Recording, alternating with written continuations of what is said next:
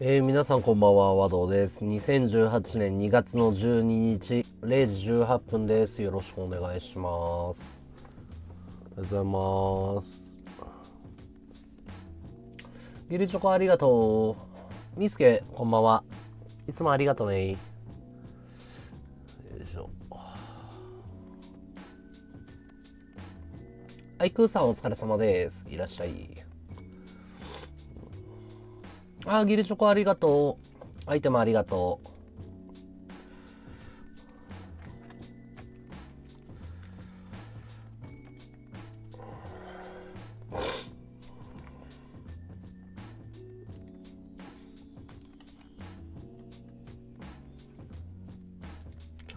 ずいぶんみんな遅くまで起きてるじゃん。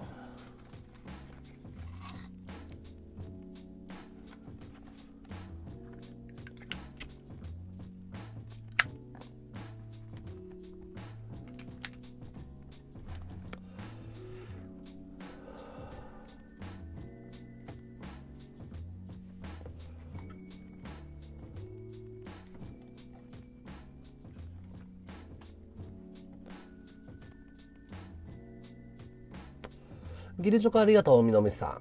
ありがとう。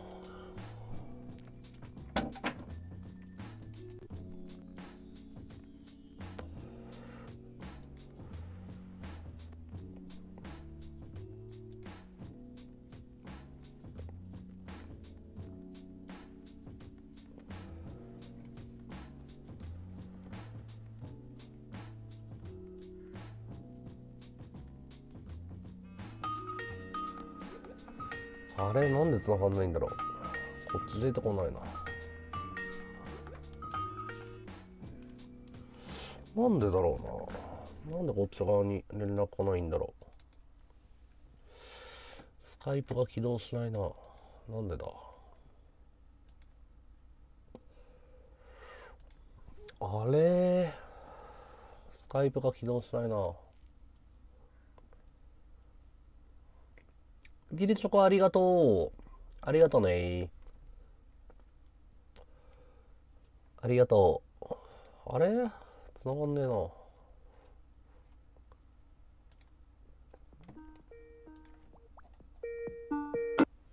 もしもし、あ、もしもし。和道です。あ、どうもすいません。ポチエムです。お疲れ様ですお。疲れ。あのー、あの会場じゃダメですかね？いや、横浜まで行くのが、ん俺、寝ぼすけだから、横浜まで行くのが結構だるい。結構だるい。うん。横浜まで行くのが。行くのがだるい。だるい。えっと、うん。お迎えに上がるという形で、え、でも電車移動でしょ？電車移動ですけど、はい。いやいや、だって、今忙しいからさ、ああ、まあもうん。う、あでなるほど、なるほど。あの、横浜まで行ったらさ、時間かかるじゃん。まあ、い行くのがうん。苦痛なわけですよね。行くのが苦痛っていうか、その、め、めんどくさい単純に。単純にめんどくさい。うん。横浜まで行く。でも、あの、意外と1時間弱、1時間、いや、これ1時間かけるっつってもさ、往復で2時間かかるわけじゃん。はいはい。うん。あの、その分のですね、うん。まあ、交通費じゃないんですけど、うん。お手間っていうのは かかると思いますので、うん。えっとこの条件が一番、うん。え、な、なんで横浜でやりたいの？あ横浜で特にあのレフェリーの問題ですね、正直な話。え、配信者に任せりゃいいじゃん。配信者の方ですか、うん。誰かレフェリーやってくれるっしょ。え、ていうか、ここすげえな。え、何？あここ何？ラウンジバーみたいになりながら、何リングで戦うことができる場所ものなんか結構良さげだったんで、でたまたま当たったすげえな、これ。でしょ？すごいけどさ、横浜、ちょっと待って。あのうん横浜で、しかも安い、ここ。ここいいね。いいいいでしょ？うん。で、さらにレフェリーとかちょっと話、まあ当たってみたところ、そこのうん。当たったみ当たってみたところ、OK だったもんで、でもさ、レフェリーは配信者に任せた方がいいんじゃないの？いや、あんまり常に、あの、そんな配信者のつながりが自分ないもんで、今。じゃあこっちで用意しようか？えーそんなギャラが、ちょっと、ギャラの問題がね、ギャラなしでもやってくれんじゃないの？あどうなんですかね。うん、どうしても都内でいいの方がいいです？え、ん何？安いからここがいいってこと？安いっていうか場所も広いしっていう形で。でも二人、二人しかいないじゃん、どうせ。まあ2人か、まあ何人か見る人がいたなら。あ何？まあ客席、客ありにすんの？あの、客客席っていうか、まあうん連れてきたいと見たい人がいれば。え、ここ。ここって駅から近いの？駅からですね、比較的近いとこなんですよ。横浜か。じゃあイベントにしちゃえばいいんじゃないの？どうせならイ。ベントまでの、であれ客入れるんだったら金取って。そ、そしたらいいんじゃないの？あそこまで人が来るかなって自分なんで、いや、俺集客してもいいよ。で、なんか、あそこまで人入らないんですよ、それに。え、だってまあ100人、収容人数100人って書いてあるよ。それはあの、あの、それを取っ払って、取っ払ってってどういうこと？リングをってこと？そう、リングとか、うん。あの、そういうところを取っ払って、あの、ライブハウスとかに。やったり、そういうところで、ソファー席だったら何人入るの？まあ、15人か20人ぐらいですね。うーん。うん。で、まあ、今後、まあ、なんか、うんそういう機会があれば、こういうとこもあるよっていうのを、うーん。まあ、まあ、俺の時じなんゃなくて、か単発のイベントだけで行くんだったら、ここで Wi-Fi 環境あるの？Wi-Fi 環境ですが、一応あるとは言ってたんですけど、はい。どうしようかな。ね、で、で、うん。まあ、まあ、まあ、今後にもつながるじゃないですか、ワードさんの。うん。まあ、な何らかの形で、まあ、こういうところもあるよって。何客入れてスパーリングするのは全然嫌じゃないの？ポチエムは。いや、俺は嫌じゃないですけど、別に。うーん。で、ルールとしても引き分けだ、あのー判定なしの引き判定ってまでもつれた、もつれる形だったら引き分けっていう形で。判定、判定2ラウンドだっけ ?2 分2ラウンドあ3分2ラウンド。?3 分2ラウンド。うん、だから、うん。まあまあ、まあ、まあ、それで、なんかルール的には、まあ、ダウンがなければ、うん。まあまあ、ああと、まあ、うんダダウンあった場合は、またそれで加算っていう形で。ダウンあ、ダウンあった場合は、レフェリー別に、レフェリーこっちで用意しようよ。レフェリレフリこっちで用意します？ー。うん。うん。うん、どうしようかな。3月の25。3え、駅からどれくらいの距離なのここ？ちょっと待ってください。ちちょっとごめんなさいね。うん、いいよいいよ。駅からうん。12分。12分、うん。それぐらいですね。はい。だから、うん場所としては結構いいんですよ。うん。客入れるんだったら客で見たい人いるんじゃないの？ガチの殴り合いだったら。ガチの殴り合いだったら、まあいい。横。浜、横浜でリア凸町やって、はいはい。ガチのイベントやればいいんじゃないの？ガチの、まあ、24時間俺自身が集客がないんで、いや、俺が、だから集客して、他の配信者とか呼んで。他の配信者とか呼んで、うん。それでもいいんですけどね、うん。その部分で、うん。まあ、どういけるかな、ちょっと待ってくださいね。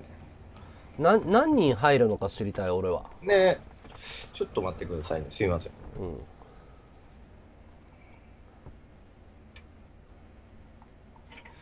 配信者、え、え25日は何曜日なの？日曜日、日曜日か。前の、前の日じゃダメなの？24日は難しいですね。あの仕事？いや仕事、俺、仕事もあるんですけど、うん。あの場所が、そのなんか空いてないってこと？やってる、この時間帯しか空いてなかったんですよ、25日だったら。25日は何時から何時空いてんの？その時間、今の7時から、夜の7時から？からまあまあ、2時間、3時間っていう形ですね。2時間3時間。そうそうそう。だから、その前はイベントがあって、うん。ちょっと使えないと。ああうん。なるほど。で、場所的にもそんな悪くはないんで、うん。で、あと、まあまあ、綺麗綺麗なところなんで、まあまあいいかもね。うん、だから、まあ、もう場所的にも、あとレフリーとか、うん。なんかまあまあ、やっぱりそれなりの人がいいかなって、止めるにしたって。うんまあ、まあ、俺、俺は挑戦者と挑戦者のうん立場なんでね、うん止めてくれる。えいや横浜まで行くんだったらあの、なんか、その、うーんと、イベントにするんだったらいいの。俺的には。どうします？それは普通に話し合います？うん。いや、だから、リスナーさんが何人入れるのかとか、はい、うん例えまあばね、その、今、捨て頃前だから、はいトレーニング、やっぱやりたい人もいっぱいいるわけじゃん。はいはい。だから、その企画化して、あのいろんな人呼んでやるっていうんだったら面白いと思うんだけど。うん企画化しでて、でもさ、だって試合ってさ、たった6分間で終わるわけよ。6分間で終わっちゃうかそう。ら、6分間のために横浜に行ってさ、うん、で、時間効率悪いじゃん。まあまあまあまあまでしょ？あ。うん、だから最後の、その、なんかイベント化して2時間とか3時間とかで、はで、最後に引退する配信者が、元和道の囲いが、はい和道をぶん殴るとかだったら、まあね、やりがいあると思うんだけど。い。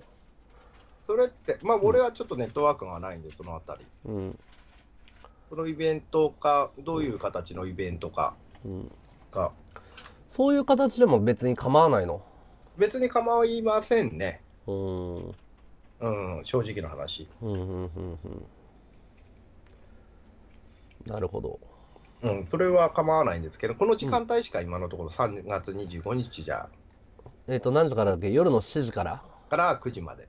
まあちょっとえ、伸ばせ、10時まで借りらんないの？10時までちょっと当たってみます。うん。多分大丈夫だとは思うかも。だ大丈夫か、ちょっとえそこら辺はちょっと当たってみないと。うん。それだったら参加費招集してみんなで割れば安くなるんじゃないの?ボチエムの負担も減るんじゃないの?ただあレフェリーだけはあの1時間、1時間かからず短い程度でってそこの運営してる会社のところなんで、あ、だからレフェリーはこっちで用意すればいいじゃん。あこっちでもともと用意するっていう形で。そうそうそう。だから場所だけ借りて、はいはい。飲み食いできるんでしょ？別になんか持っていけや。あ、持ってって飲み食いは大丈夫です。うーん。もともと、うん、そういうとこなんで。うん、うん、うん。うーん、なるほど。はいはい。じゃあ、まあ見たい人いるんじゃないのかな？どうなんだろうちの方でも1人、2人、3人ぐらいは。う。だったら1っていうぐ人3時間で1500円、1時間、まあ3時間で1500円で、はいはいなんか生で見てもらった方がいいんじゃないの？その方が負担減るしさ。まあ負担減りますけどね。うん。うん。こっちの方は任せますね。う。まあこういうことには疎いんで、僕。うん。なるほど。うん、ちょっと。何人客が入るのだけ知りたいかな何人入っていいのか。そこですね。うん。場所ここでいいです？とりあえず。じゃあ、イベント化していいんだったら俺はいいよ。別に。あ、イベント化あとしていいです。3時間レンタルができるっていうのが。3時間レンタル化できるっていう形でいいです。うん。じゃああ、しました。それで。それでよろしいですか？じゃあ最後のメインマッチ、まあ2時間半ぐらいとか練習会とかどんなイベントにするのかわかんないんだけど、はいはい。イベントし終わった後、はい。あのーじゃあ最後にやるっていう2分、形でいいですか？2分、3ラウンドじゃなくて2分2ラウンド、あ、3分2ラウンドがいいんでしょ ?3 分で2分2ラウンドでもあるあるんです。いや、3 3, 分2ラウンド3分やらないと多分意味ないと思うよ。意味ないですよね。3分2ラウンドでお願いします。うん、3分2ラウンドだよ。はいいや、俺はいいよ、別に。はいはい、OK で。うん。で、イベントの形っていうのを、どういう形かっていうのを、あまあ言って言わないなしで、まあそこら辺、な正直な何？話、まとめ、あのーまとめるのはこっちでやる。よ。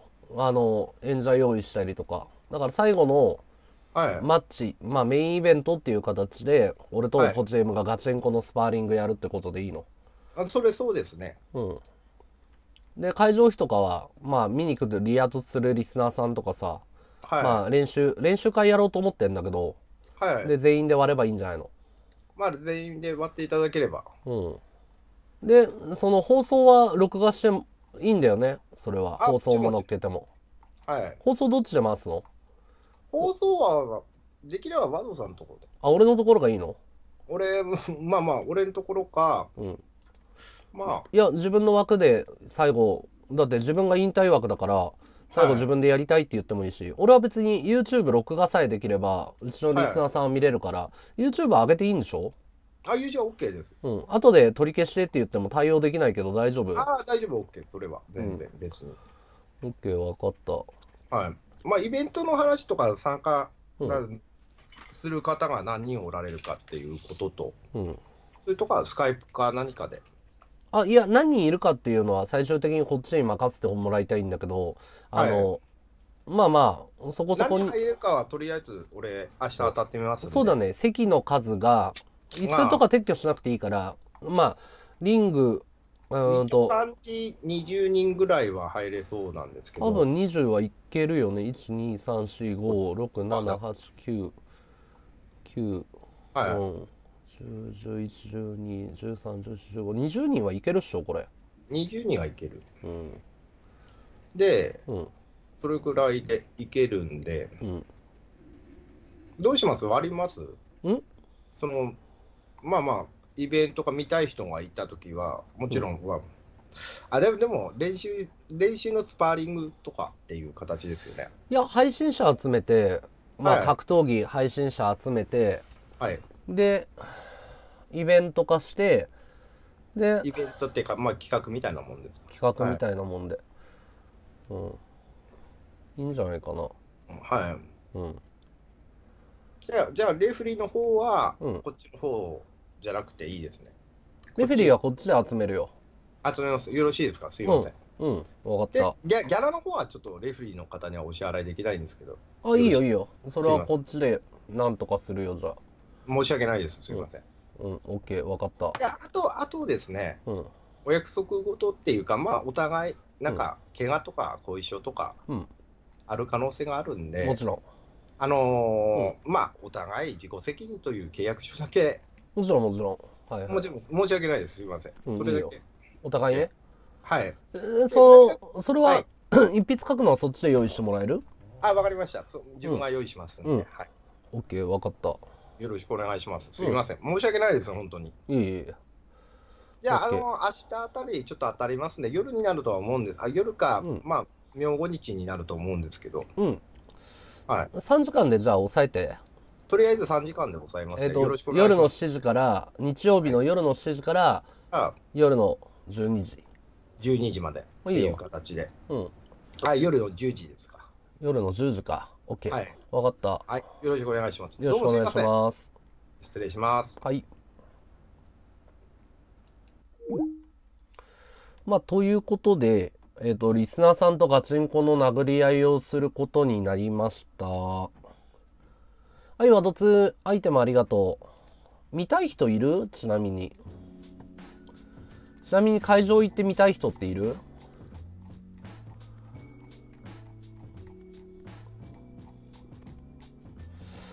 まあ、オフ会やろうか。オフ会。オフ会やりますか。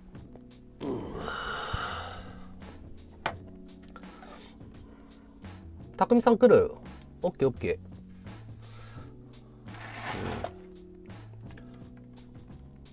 オッケー。じゃあ、やりますか。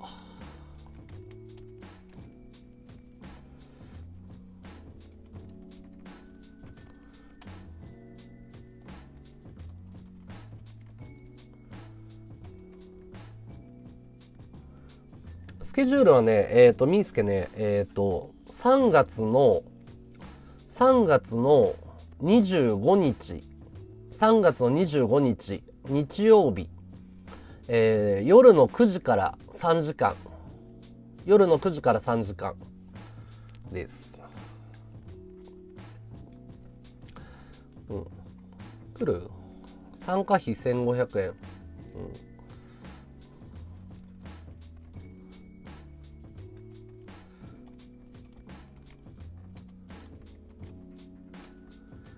まあ、生で練習見れるのはいいんじゃないかな。うん。19時からか。ちょっと待ってね。3月25日、えー、19時、19時から。練習と最後にこのポチエムっていうのが俺とガチスパーリングっていうか彼引退するのよ配信をふわっちをそれであの俺と最後にガチでぶん殴り合いたいんだってからそれがメインマッチ。うん。その前に練習を公開、公開みたいな感じで。うん。公開みたいな感じでやろうかなと思って。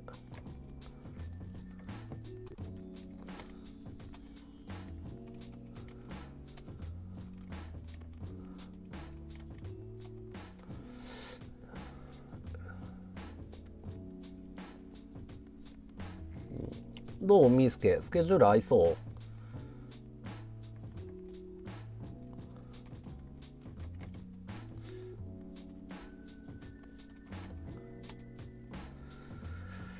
えー、定員25名。実際の試合はまあまあ夜の9時半とかでいいんじゃないの？9時半とかで。夜の9時半でいいんじゃん。どう？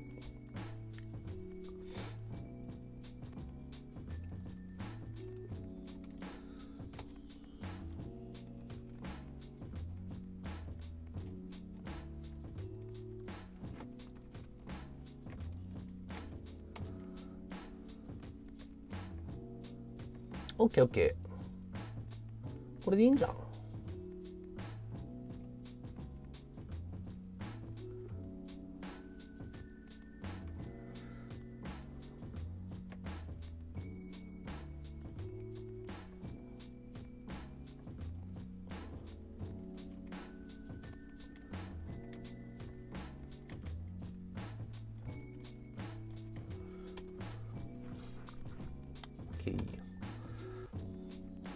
アポ取っていこうかな。アポ取っていきますか。何人ぐらいでさ、練習会やるのがいいかな何人ぐらいで練習会やるのがいいかな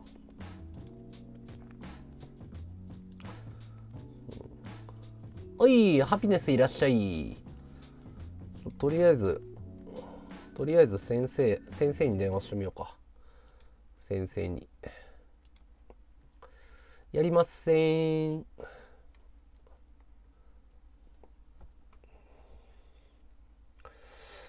先生に電話しようか。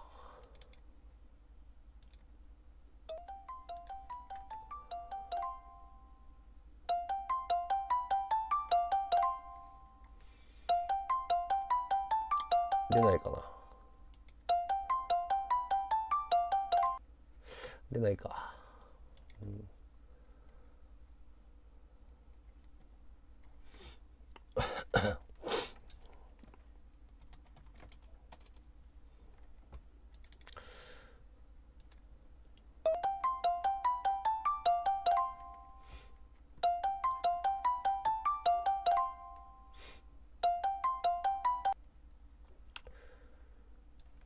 しもーし。いや、はいはい。お疲れ。今配信中なんだけど大丈夫？あ、大丈夫よ。はい、はいうん ?3 月のさ、25日に格闘技のさ、練習会やろうと思ってるんだけど、やんない？やる。やる？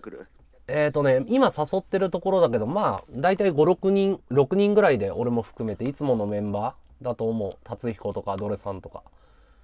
あ、さ、うん。あのー、俺の対戦相手がおらんかったらやるわ。あ、もちろんもちろん呼ばない呼ばない。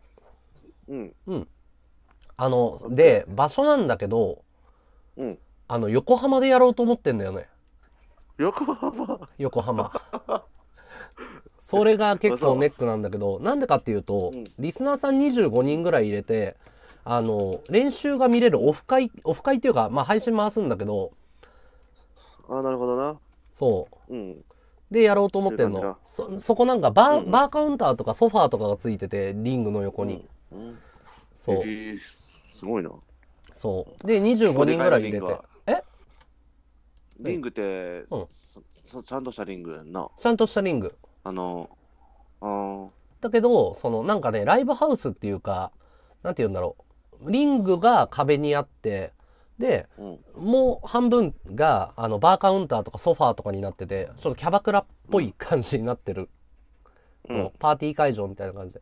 で、そこでリスナーさんは、まあ、自分で参加費1500円でやろうと思ってるんだけど、まあ、うん勝手になんか飲み食いとかしてもらって、で、参加費だけ1500円くださいって言って、で、まあ、そこで練習見学できるリ。スナー読んでもいいんやんな。リスナー呼んでもいいけど、あの、定員だけあ決まりがあるから、俺問い合わせで、その、テレのリスナーで参加した人は、ああ、あのそういうことね。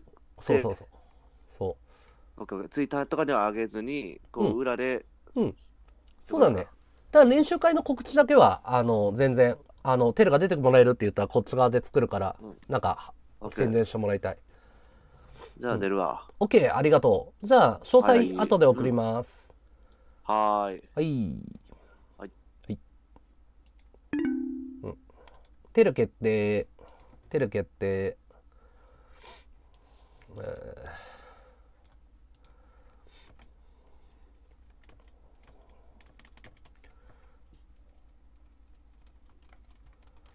配信者、あれみち、えー、テルと。はい。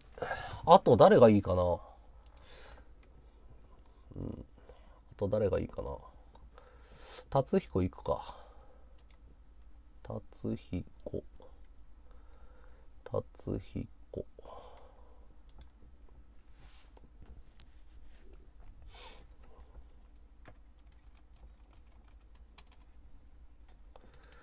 達彦くん、遊ぼう。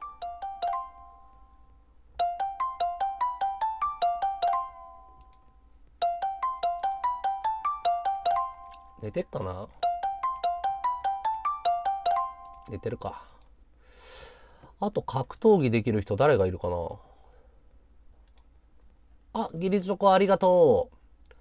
あ、店員さん、あ、ごめんなさい。店員、店員、店員ですね。ごめんなさい。えーと、誰がいるかな？誰がいるかな？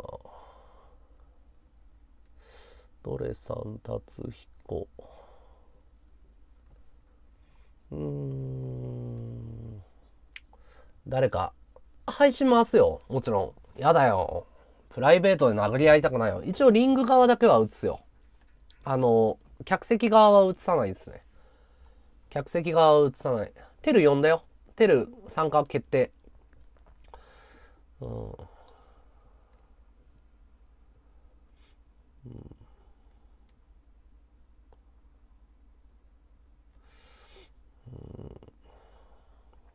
誰かいるかな？配信者探してみるか。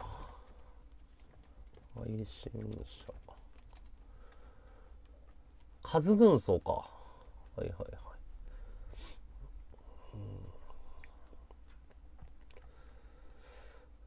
カズ軍曹。配信者何人ぐらいがいいと思う？みんな。なんかさごちゃごちゃするとさ見づらくない？ごちゃごちゃすると見づらいよね。多分。見づらいよね。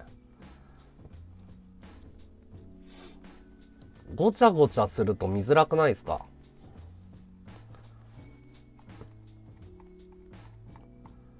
ごちゃごちゃすると。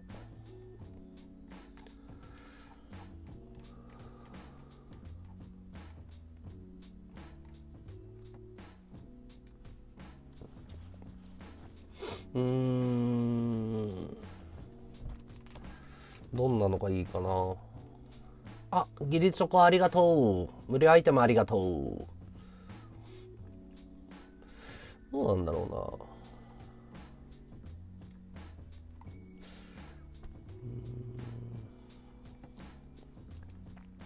うな。誰がいいかな。あーギリチョコありがとう。ドレさん、ドレさん解説じゃなくて、練習で呼びたいけどな。誰かいるかな。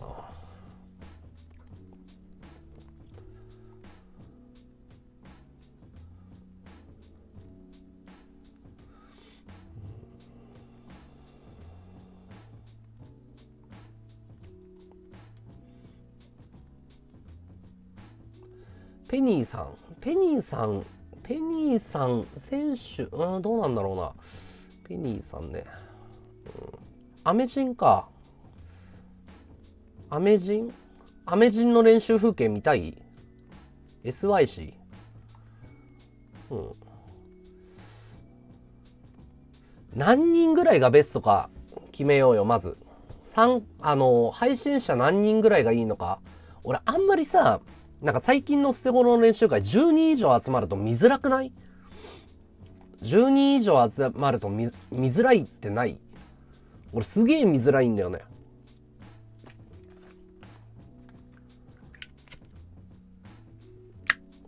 8人多くねえか ?8 人もいる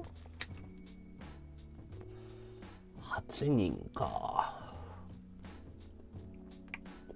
うん、6人ぐらいがベストだと思うような気がすんだけどな。6、6じゃダメかな。6でいいんじゃね？うん。まあ、大体練習を見学するのは2時間で、まあ、6人だよね。6人だよね。6人で、うん、あ、ありがとう。佐野ゆいがさん。だよね。それくらいがちょうどいいよね。6でいこう。6で。うん。最近ね、多いんだよ。すごい。10人ぐらいいると誰だ誰だってなるから、パニック起こすから。まあ、テルヨンだからクモン流呼べないから。うん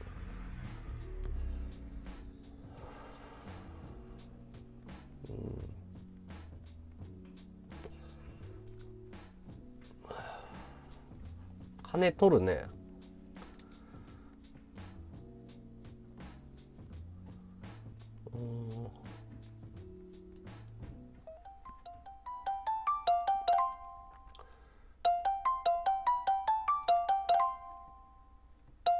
まあ格闘技練習会だね。格闘技練習会。格闘技練習会ですね。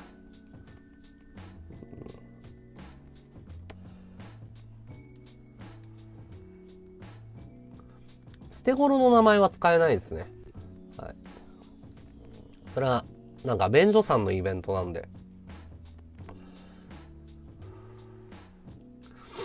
うん、そうだよ、デコポン。はい、ワード2。ナナシちゃん、ありがとね。うん。さすがに問題起こった時に便所さんに何かあったら嫌だから、自己責任取らないといけないからさ。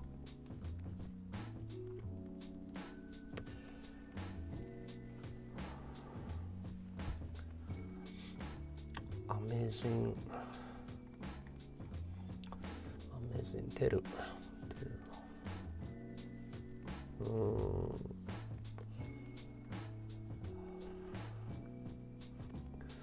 なんかいつものメンバーになりそうな気はするんだよな。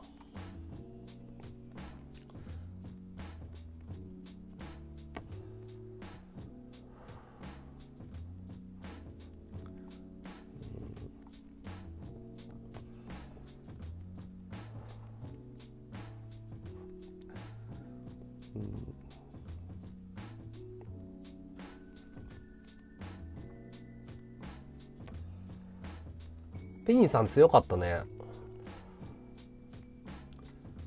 ペニーさん強かった、見たよ。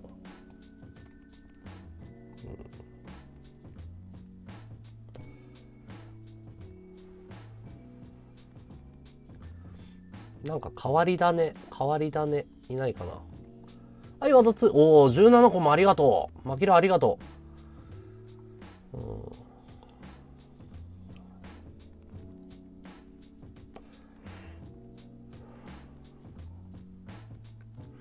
参加費っていうか、まあ、見学費だと思ってもらって。見学費ですね。うん。見学費。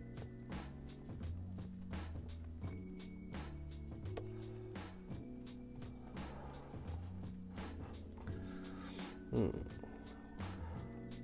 あ、山さんどうもどうも。うん、どうしよっかな。参加っていうかね、ボクシングやるわけじゃないから、リスナーさんは。リングで、こう見れるっていう感じですね。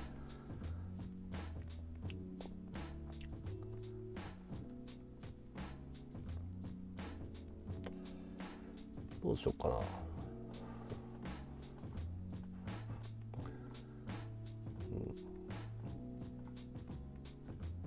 ヒカルくんは電話したい今。出なかった。ヒカルくん出なかったね。はい、ワード2。テミ、ありがとう。こんばんは。えー、ちなつさんね。ちなつさん、こんばんは。うん、リスナーさんの定員25名なんで、早めにご予約ください。来るっていう人は、来たい人は早めに連絡ください。でも、ステゴロ1のメンバーでやりたいっていうのはあるよね。ステゴロ1の関係者で。誰がいいかな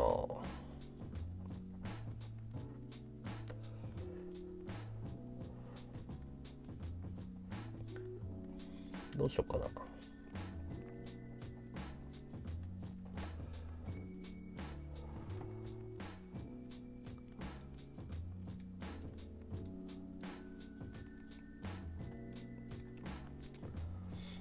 まあまあ、リスナーさんで来たい人は連絡ください。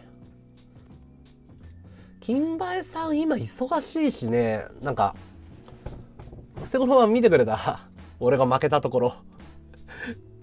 俺がボロボロに負けたところ見たお恥ずかしい。2も出るんで、あの、ぜひ会場に来てくれる人は声かけてください。元リスナーとボクシングするね。うん。最後、その練習会の最後、ガチスパーリングやりますね。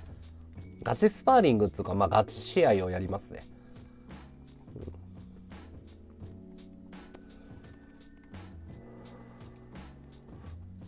見ちゃったか。あの恥ずかしいやつ。うん。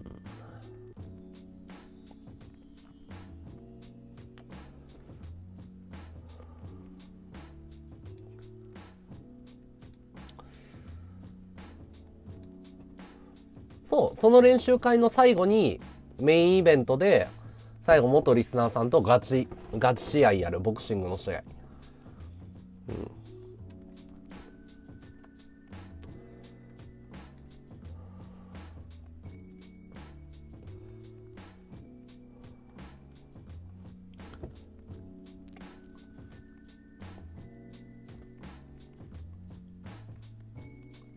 はい、ワード2。ゆめこちゃんいらっしゃい。てる、俺、ドレさん、達彦。ひかるくん、アメジン？あの人って誰？ああ、ポチェム？うん、でも本人がやりたいって言ってきたことだからな。ジャックさんありがとう。ギリチョコありがとう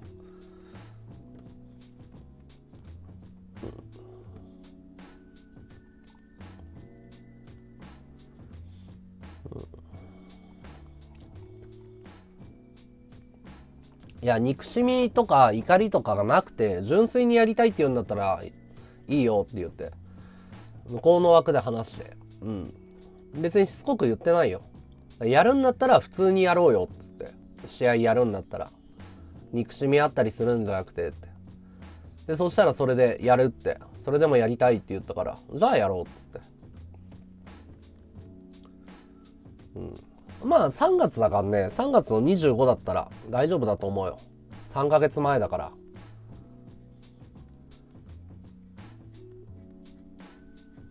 和道の分析、俺はプロモーターじゃないし、選手で盛り上げなきゃいけない側じゃないですか。だから、あのーまあ確かに声的にはさ、盛り上がりに欠けてる部分はあるんだけど、俺は盛り上げたいと思ってるから。うん、盛り上げたいと思ってるから。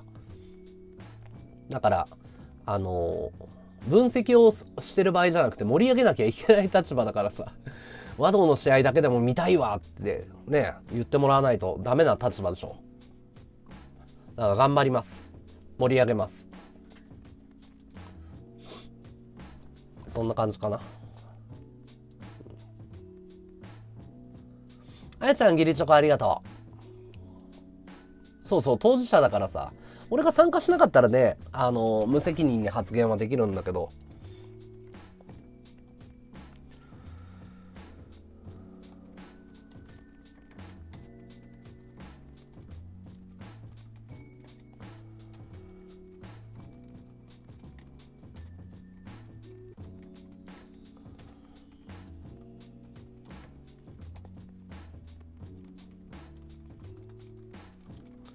まあメールだけていこう。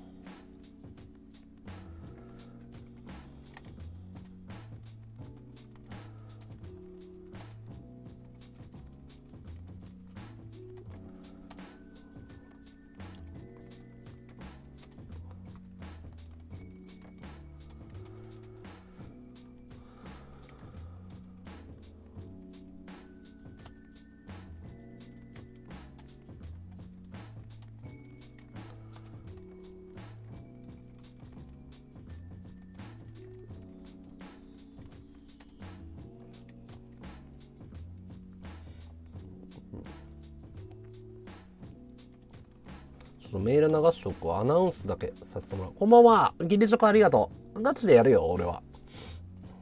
その、引退するっていうわけだから。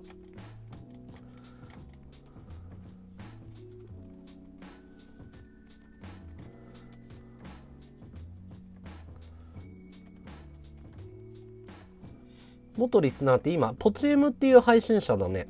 ポチエムさん。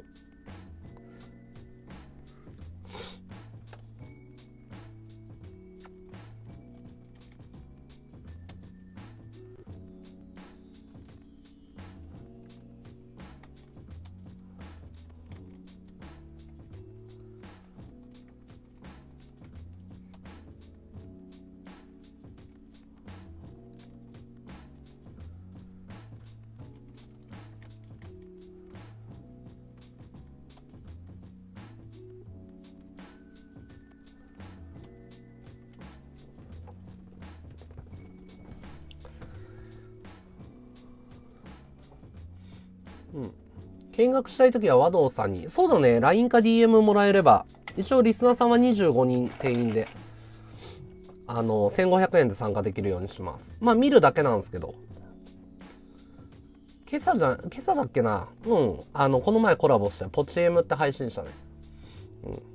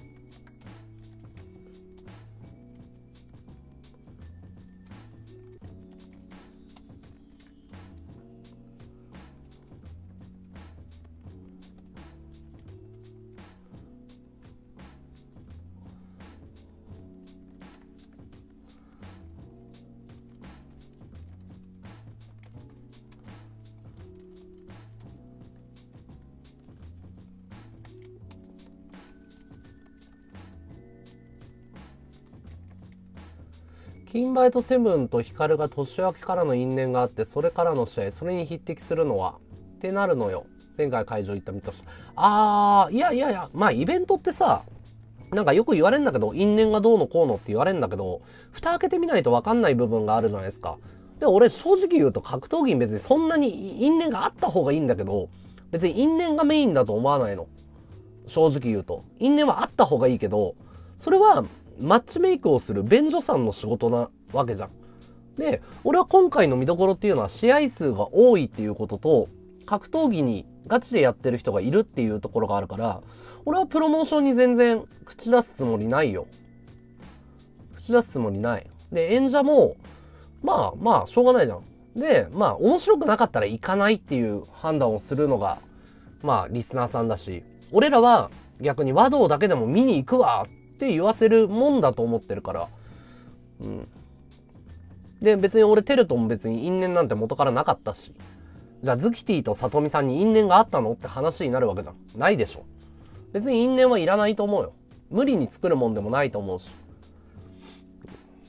俺はそんな感覚かな。まあ、リスナーさんとしてはね、因縁があった方がいいっていうのはわかる。うん。ギリチョコありがとう。そう思いません？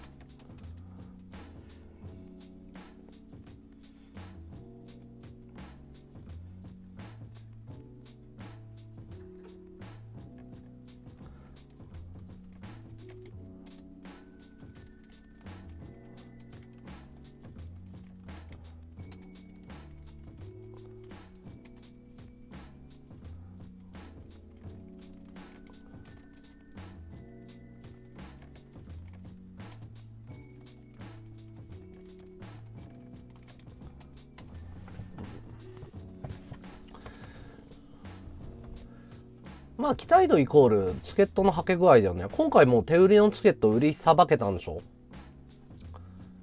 うん。今回チケット売りさばれたんでしょ？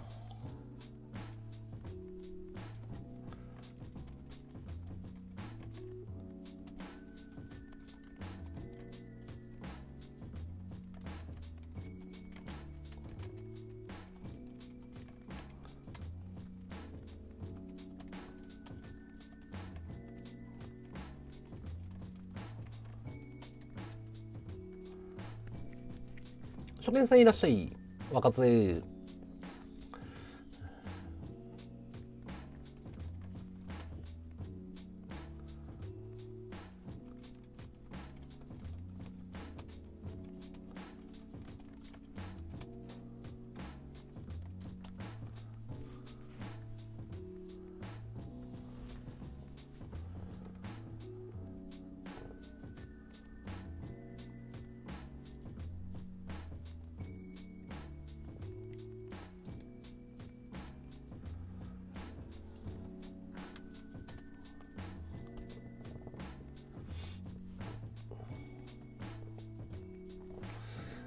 回よりもクオリティを上げないと単純に技術を。まあまあそれはだからほらあのさっきも話したけどあの便所さんの問題だと思ってんのよ、うん、あのプロモーターの問題だからさ、うん、でもまあ、うん、あ正直言うとだよ。捨て頃1の時もこんな空気だったよ。正直。試合が終わった後見たら蓋開けてみたらよかったからみんな興奮して閲覧も爆発したけど正直否定的な声多かったよ。イベントってそんなもんじゃないの。見た後にさ見た後にそうなるもんじゃないの。俺はそういうもんだと思ってるけど。違うのかな。そんなもんじゃね？じゃあ純粋に和道が客として今回のステゴロ2の見どころ。俺客じゃないからなだから。格となる試合はってさ俺 あのさじゃあさ長谷川穂積選手が世界戦やりますと。でまあじゃあ K1 でいいや。K1 やりますと。で、えー、アーネスト・ホーストにが出ると。でその時に客として見どころどこですかって質問する？アーネスト・ホーストに。いや、自分の試合見てよって言うでしょ。違う？そのさ、質問する相手間違えてるって 俺演者だから何回も言うけど、いや、俺の試合見てくださいしか言えないよ。それが模範解答でしょそれ失礼だよ、あと。単純に。いや、あの、俺出るんだけどっていう。俺の試合見てとしか本当に言いようがない。俺からすると。本当に申し訳ないんだけど面白くないかもしれないんだけど、うん、で会場の雰囲気ちょっと伝えようか。ちょっと待ってね。ああ間違えた。ちょっと待って。えー、写真どこだ？ちょっと待ってね。会場こんな雰囲気なんだけどお客さん見やすそうじゃない？これでさ配信者見れるってよくない？これ。いや世界戦レベルだとは言ってないよ。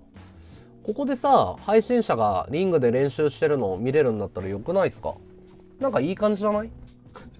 これ面白いよね。これ面白くないっすか？みんながここで酒飲みながらああっつって、頑張ってるなーっつって。で。ここでやろうと思ってんだけど、これ良くないですか？参加費1500円。うん。ここでやろうか。ちょっとね。例えるなよって聞いてきたのはあなたじゃん。うん。例えるなよって言われてもね。例えるよ。うん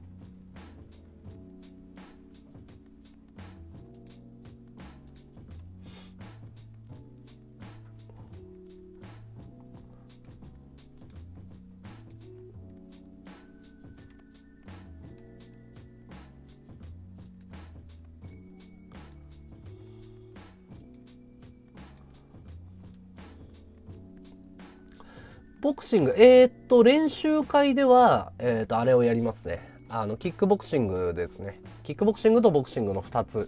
立ち技系の練習イベントにしようと思ってますね。立ち技系。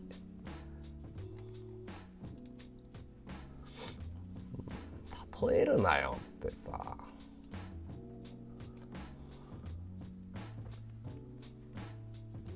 それさ、お前見どころがねえからつまんねえよって言われてんのと一緒だかんね俺からすると。今回盛り上がりにかけんだよ、メンツ悪いんだよってさ、俺に言うなよ。俯瞰しておすすめは第一試合かな。自分の試合以外で言うんだったら第一試合だね。クモンとテルはね、あの、面白い試合になると思ってるかな。あの、いつも言うんだけど、格闘技って、あの、力の差が出ると面白くなくなるんですよ。えリングしかないって何？ん？どういうことっすか？サーモンさん。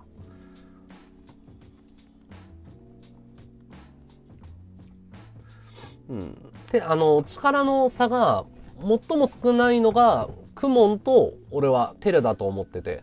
で、二人ともまだまだ伸びしろがあるわけだから、あと実際俺負けてるわけだし、第一試合は結構湧くんじゃないかなっていう。そういう感じだね。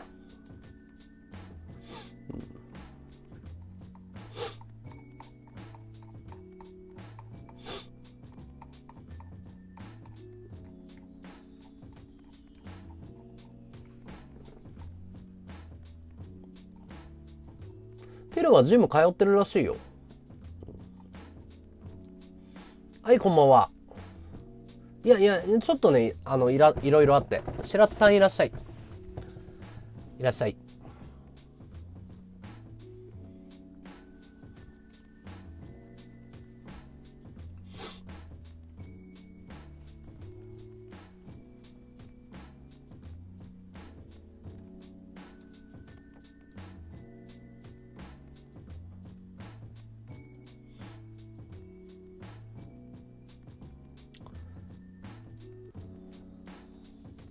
ああ、達彦に俺もコメントで聞いたけど、実際本人の口から聞いたね。ワンの選手の方が強いっていうのは言ってたね、放送でね。昨日ね。どうなんだろうな。ありがとう、カンナさん。頑張るね。ありがとう。頑張ります。まあ、格闘技はさ、蓋開けてみないと分かんない部分が多いんだよね。達彦相当強いよ。それはもう、リザーバーの時から分かってたことだから、ドレさんも俺も分かってたし、配信者になる前から分かってたから、普通に強いよ。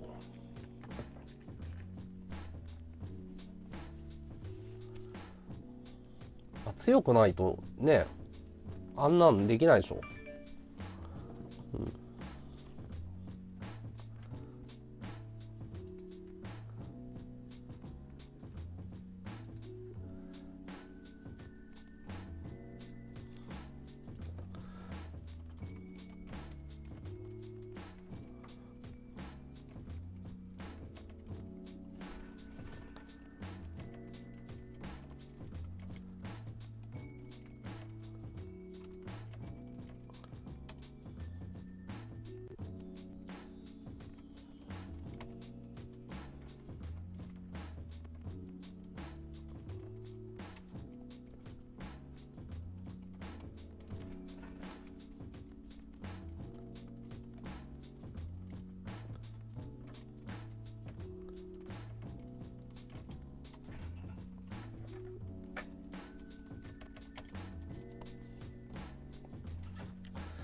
テルとクモンが目玉なら見る価値ないわ。ありがとう。怪我すんなよ。はーい。今回はね、あんまりね、ドキドキしないんだよね。昔、なんかね、始めた1ヶ月ぐらい前が、すごい、その、夢にうなされてるんだけど、だんだん克服していって、それがね、一体何なのかっていうと、多分ね、練習してるからなんだよね。だんだんその、怖さが抜けてきた。まあ試合当日までまた怖くなるかもしんないんだけど、最近ぐっすり寝れるようになったね。怖くなくなってきた。うなされるっていうか、そういうのがだんだんだんだん取れてきたかな。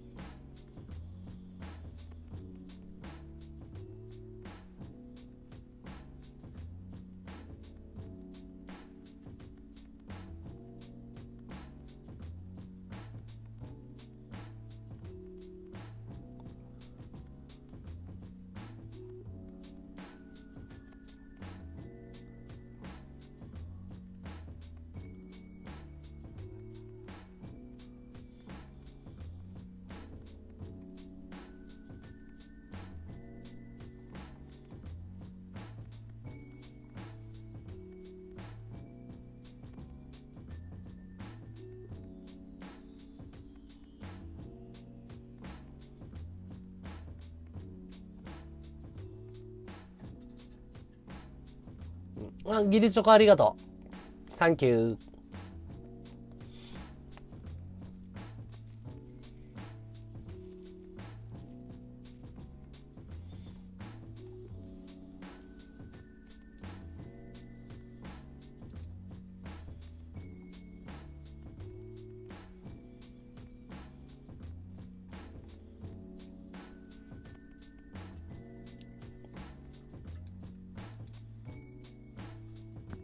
あ、ギリチョコありがとう。たくさん持ってるね、みんなね。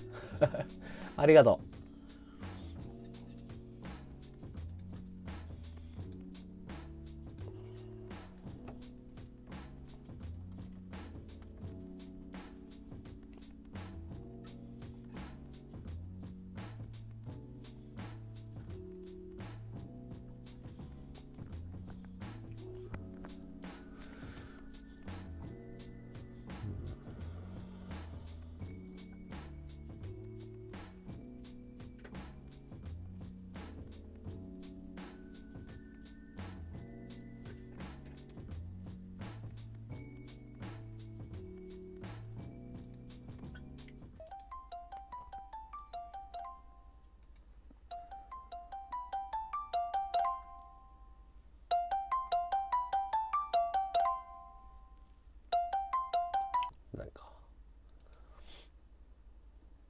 日曜日の夜はみんな寝てるのかな？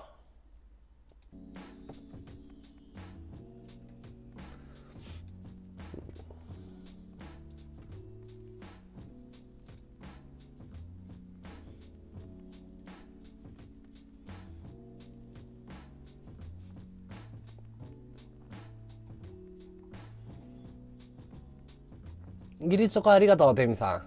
ありがとう。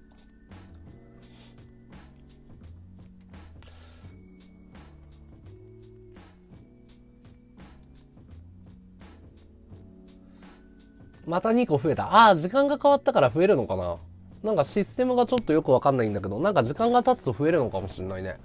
ありがとう。匿名さんありがとう。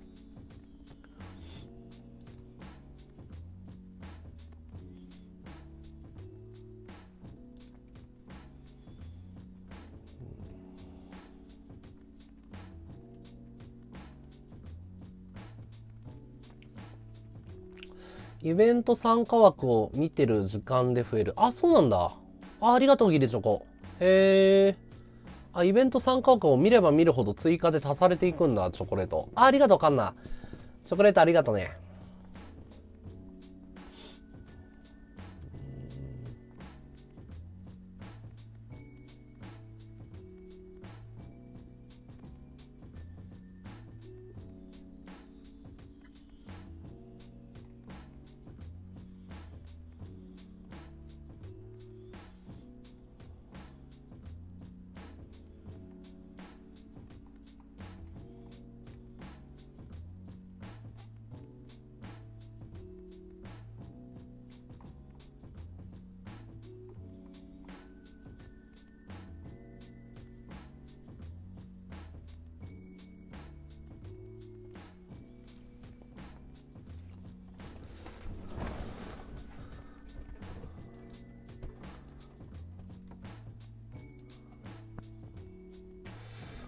ら2人以外に誰に声かけるの？今のところまあまあまあまあいつものメンバーだけどドレさんとかヒカルくんとか。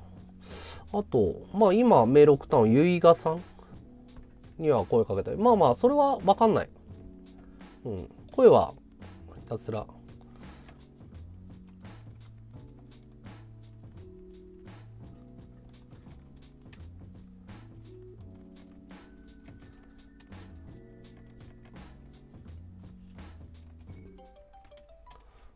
うん、電話かかってきた。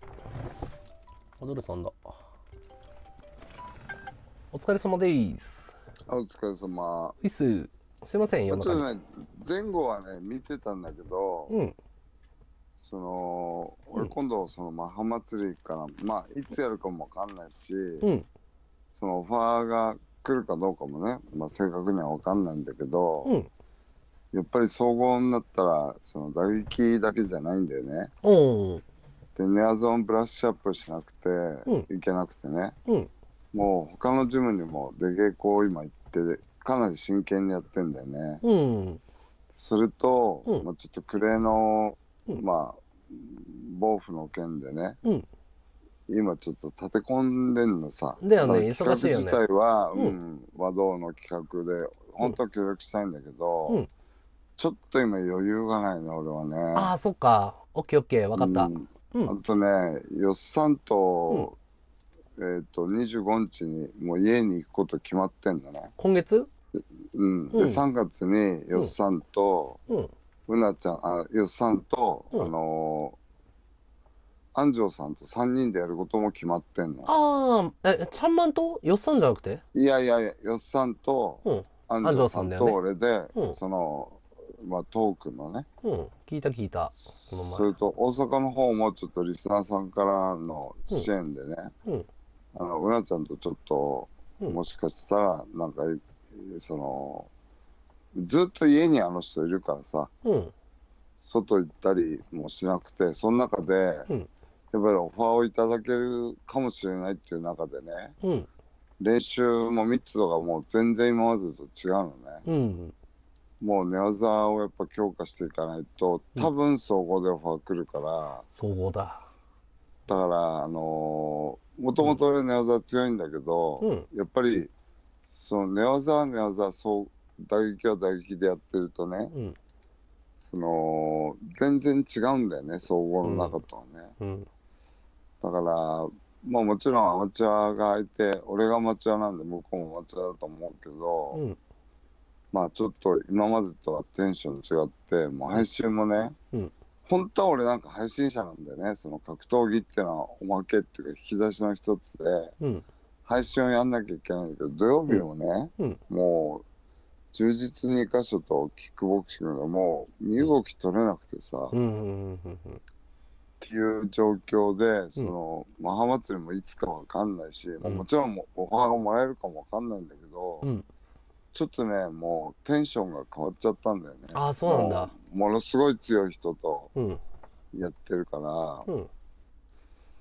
ちょっと今回は難しいかな。ちょっと日にちにもよるんだけど、うん。え日付はね、3月25だけど、あ、大丈夫だよ。まあまあまあ、うんまだ先なんだけどうね、ん。うん、ちょっと、うんテンション上げていかないと、俺もやっぱりどんどん年齢がね、うん。やっぱり身体能力落ちていく中でね、うん。やっぱり集中しないと、もう最後だと思ってるから、うん。で企画自体は本当に応援したい、技にもよくしてもらってるからね、力になりたいんだけど、うん。まあちょっと難しいかあな、今回はね。オッケーオッケー。オッケーです。ううん。あのそれ以外にね、あの技術的な練習会とか、うん今ほら便所もやってるしみんなやりだしてるから、うん。もちろん俺の方もほら、ねやんないと、うんあのーまあいろんな原田さんもあるし便所のもあるし、うんっていう中でねやっぱり取られちゃったら、うんせっかくの企画だからさうん。やっぱり俺のは俺でやるべきだと思うしね、うん。うん。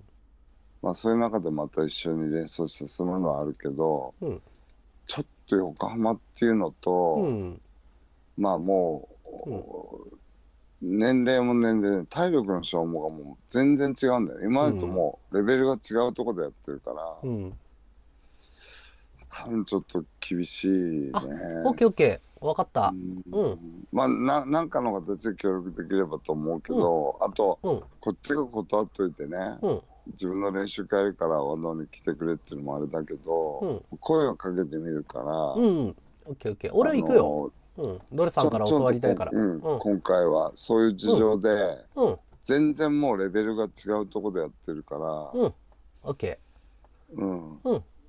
オッケーです。そんなんで、うん、うんあのありがとう見てたんだ、前後、前後見た上でだからね、あ、オッケーオッケー。ちょっ。とそこはご理解いただきたいと思います。わかりました。まあでも、あうんの、頑張ってやってください、うん誰参加人数が多い方がいいしね。そうだね。今回6人ぐらいでやろうと思ってる。うん。あのーこの前の俺、うん便所の練習会っての見てなくて、うん。和道のコメントで見たんだけど、うん。ペニー君はその技術的なことよりうん。気が強いね、ねが強い。いや、結構、なんかガシガシ、なんか喧嘩スタイルだったけど。うんまあ、ちょちょちょっとあの 体格差があったんであ、まあ、まあね。体重重いからね。もその別にうん雲龍がどうのっていうわけじゃないけど、うん。臆することなくうん勝手にこっちの想像だけど、うんもっとこう、うんやられちゃうかと思ったら全然、いったねいった。う向いん。向いてるんだねうん。コメント欄でもペニーさん強い強いってなってたよ。うん、うんそんでみんなこうやっぱりもう前回と違って経験者が多いから、うん。すごくレベルも高かったしね。確かに。あの、いい練習会で。うん。まあまだちょっと早いけどやっぱ近い試合近くなったらねスパーリング入れて、うん。和道もあん中に入って技術はもうしっかりしてんだから自信持ってね、うん。やっぱりガード固めてうん。いかないとね、もらっちゃって、せーのでやったら、うん。それはもう確率2分の1になっちゃうから、うん。ぜひちょっと今回は、うん。あの和道企画で、うんお客さんからそのお金を取るっていう形でね、うん。試みで一つ、うん企画として、うんぜひ頑張ってください。うん。頑張れ。ありがとう。うん。うん、とんでもない。うん。すいません、ちょっと協。力でなくてね、申し訳ない。あいいよいいよ全然で、うん。まあ、あとその暮れの、うんまあ、まだ後始末も終わってないんだよね。うん。なのでで、まあ練習時間もちょっと減っちゃったりして、でも作んなきゃいけないから、まあちょっときついとこもあるんだよね。うんなので、ちょっと今回は、うんうんうん頑張って、うんあの、枠で宣伝したりとか、うん例えば解説的なことを、あ、やってやって。そのそそその場ではいけないけど、うんもちろんもちろんまあ後で後でね、うん。あの評論してよ誰が良かったよとか、ううんんそういうのはあれなんで、うん。お願いしますぜひ頑。張ってください。はい。ありがとすいません、練習、あの、配信中にすいません。う。いえいえ、お疲れ様です。またねいい。頑張ってください。はい。うん。ドルさん無理か？うんうん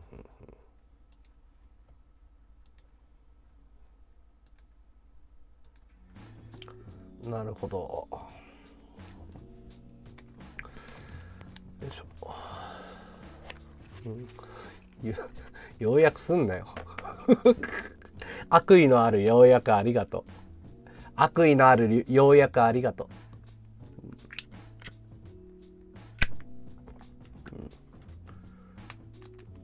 う。まあまあまあしょうがないでしょ、う、うん。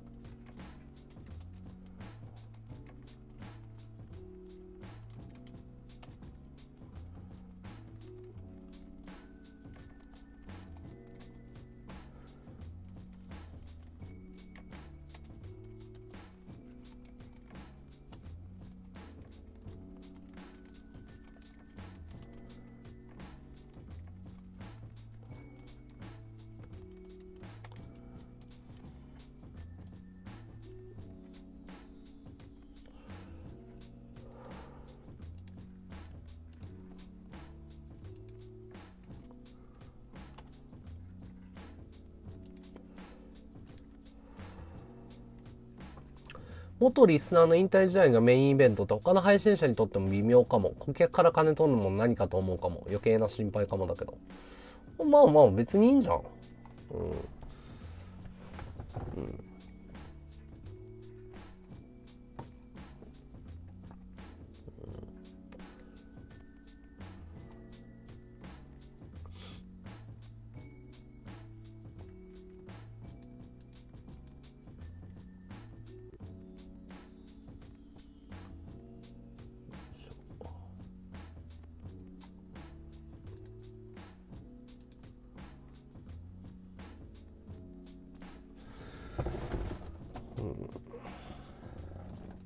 たい人が見るっていう。来たい人が来るっていう。来たくない人は来ない。ただそれだけでしょ。うん、そうそう。何も変わらんよ。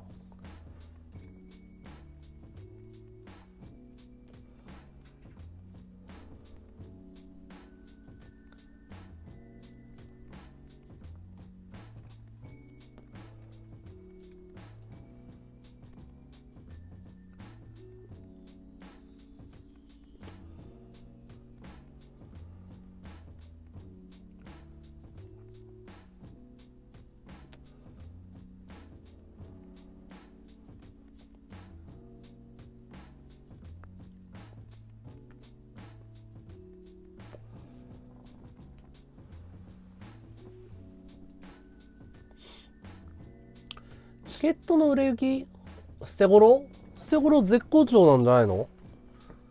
あなんか手売りのチケットはもう速攻また一瞬で販売。もう抽選状態で。あと一般販売のみだったよ。一般販売のみ。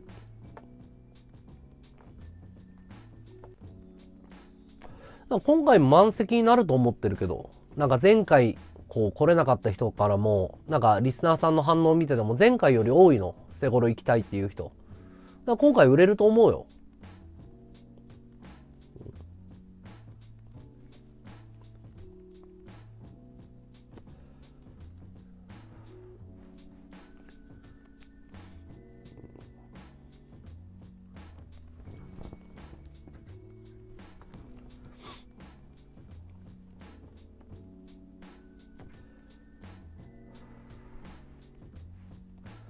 何気に、まあまあまあ。だからなんか前回もさ、捨て頃の時に結構批判的な声多かったの。マッチメイクがどうだとか、なんだとか。で、蓋開けたら急に評判がパチンと変わったのよ。実際見た人も多かったし、すごい良かったから。だから前評判ってこんなもんだと思うよ。うん。なんか前回とすごい似てる気がする。こんなのうまくいかねえよっていうかさ。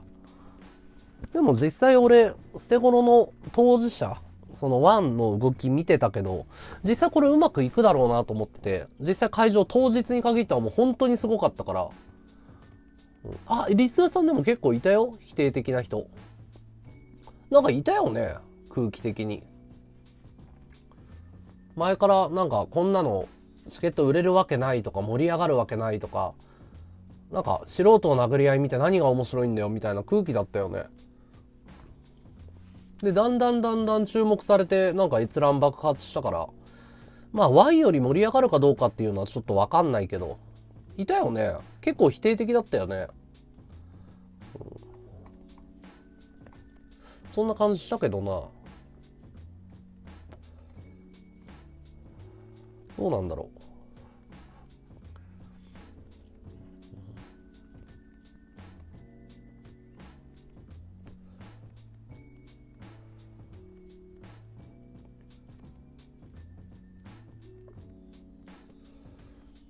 こんなもんでしょえ、クモン流のクソみそ言われてたよね。すごかったよね。当日まで。で、当日良かった良かったって、見て良かったって、なんか、便所さんの株が急上昇した印象だったね。思ってたより本格的だった、みたいな。うん。あれは大成功でしょ。うん。ただ、まあまあ、なんだろう。確かに捨て頃関係の閲覧がまだ集まってないなっていうのは、俺も感じる。実際。前回よりも。いろんな各配信サイトで。ツイキャスとかで他の練習会とか見ても。練習会閲覧どれくらいだったの？クモン流のやつは。クモン流のやつは何百人見てたの？いやいや、そんなことないよ。クソみそに言われてたよ。そんなことない。アンチ多かったよ、実際。あの叩いてた人たちは、ね見直したんじゃないの？わかんないけど。でもあれだね、タイムシフトで俺さ、YouTube のコメント付きのやつ見たんだけど、感動するね。うん。800人いたんだ。まあちょっと少ないかなって思うよね。前回は2000人とか3000人とか言ってたから、1000人オーバーしてたから、ちょっとなんか微妙な気はする。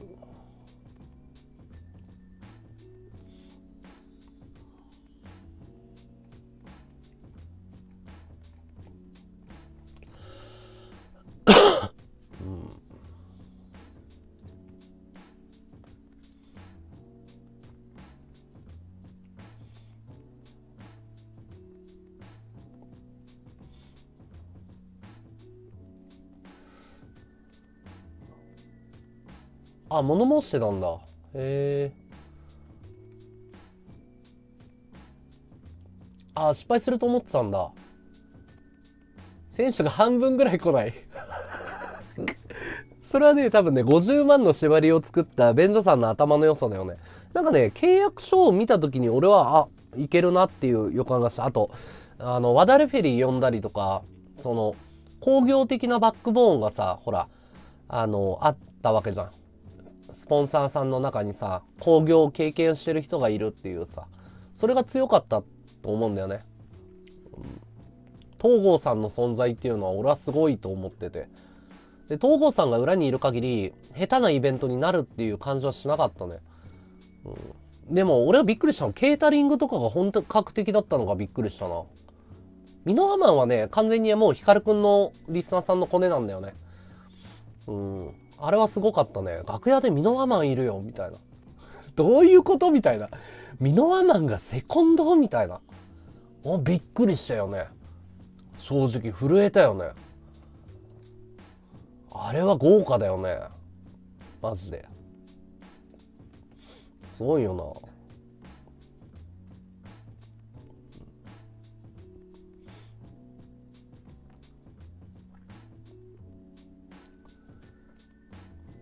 あ、ヒカルくん乗り気じゃない？ああ、まあまあ、しょうがないよね。うん。しょうがない、しょうがない。うん。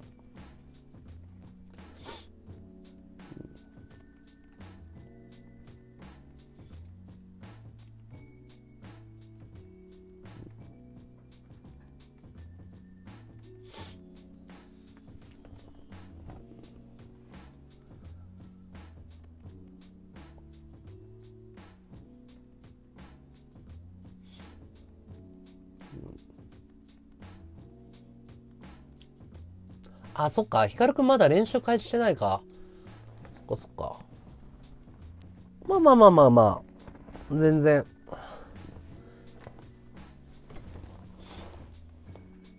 1ヶ月先だからね、スケジュールがね。読めない部分あるからね、配信者は。うん、しょうがないよね。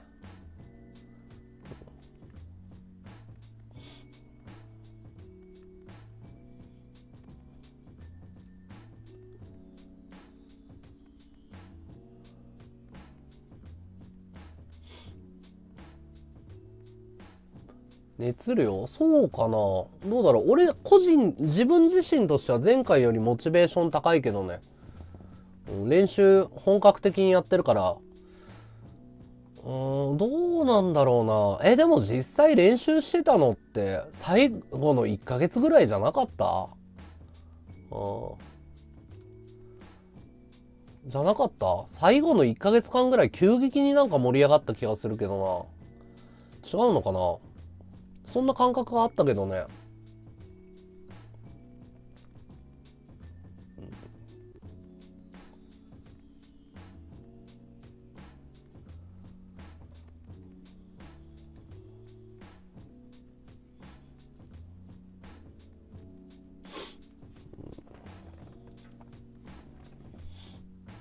どうなんだろうね。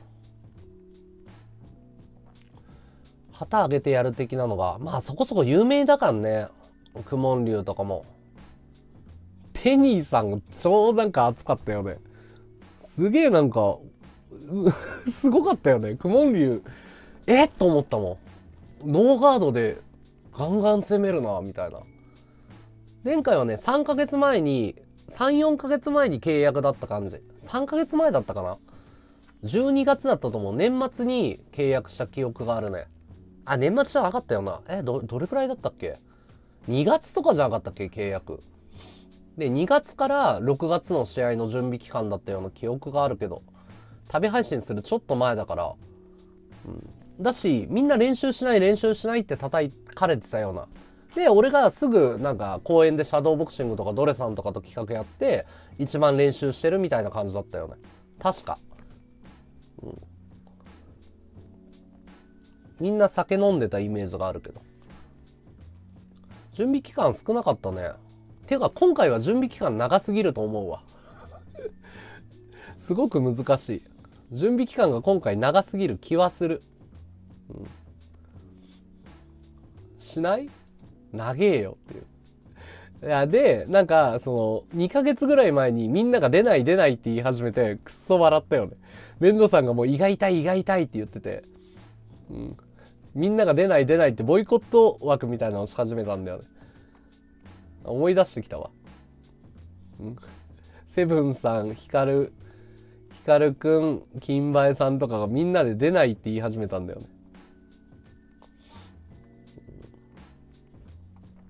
違うかな。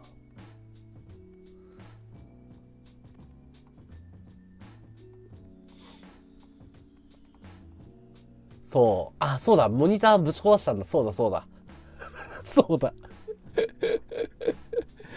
そうだ、モニターぶっ壊しちゃったんだよね。いや、あれは本当に胃が痛がってたよ。もう、なんか電車で二人きりになるとかさ、便所さんのその配信外で会った時あったけど、本当に胃が痛そうだったもん。本当に。あ、もうプレッシャー半端なくてもう本当にゲロ吐いてるわって言って。その、プロモーターとしてもう本当にすごかった。プレッシャーが。いや、どうしようみたいな。本当出なかったらどうしようみたいな。ワードお願い出てよみたいな。お前裏切んなよみたいな。お前は裏切らないよなみたいな。大丈夫っすよって。ネタ、ネタでもやらないよねみたいな。やらないっすよっていう。あれは面白かったな。苦しんでたよ、便所さんは。本当に。まあまあまあ、300人集める興行だからな。大変だよな。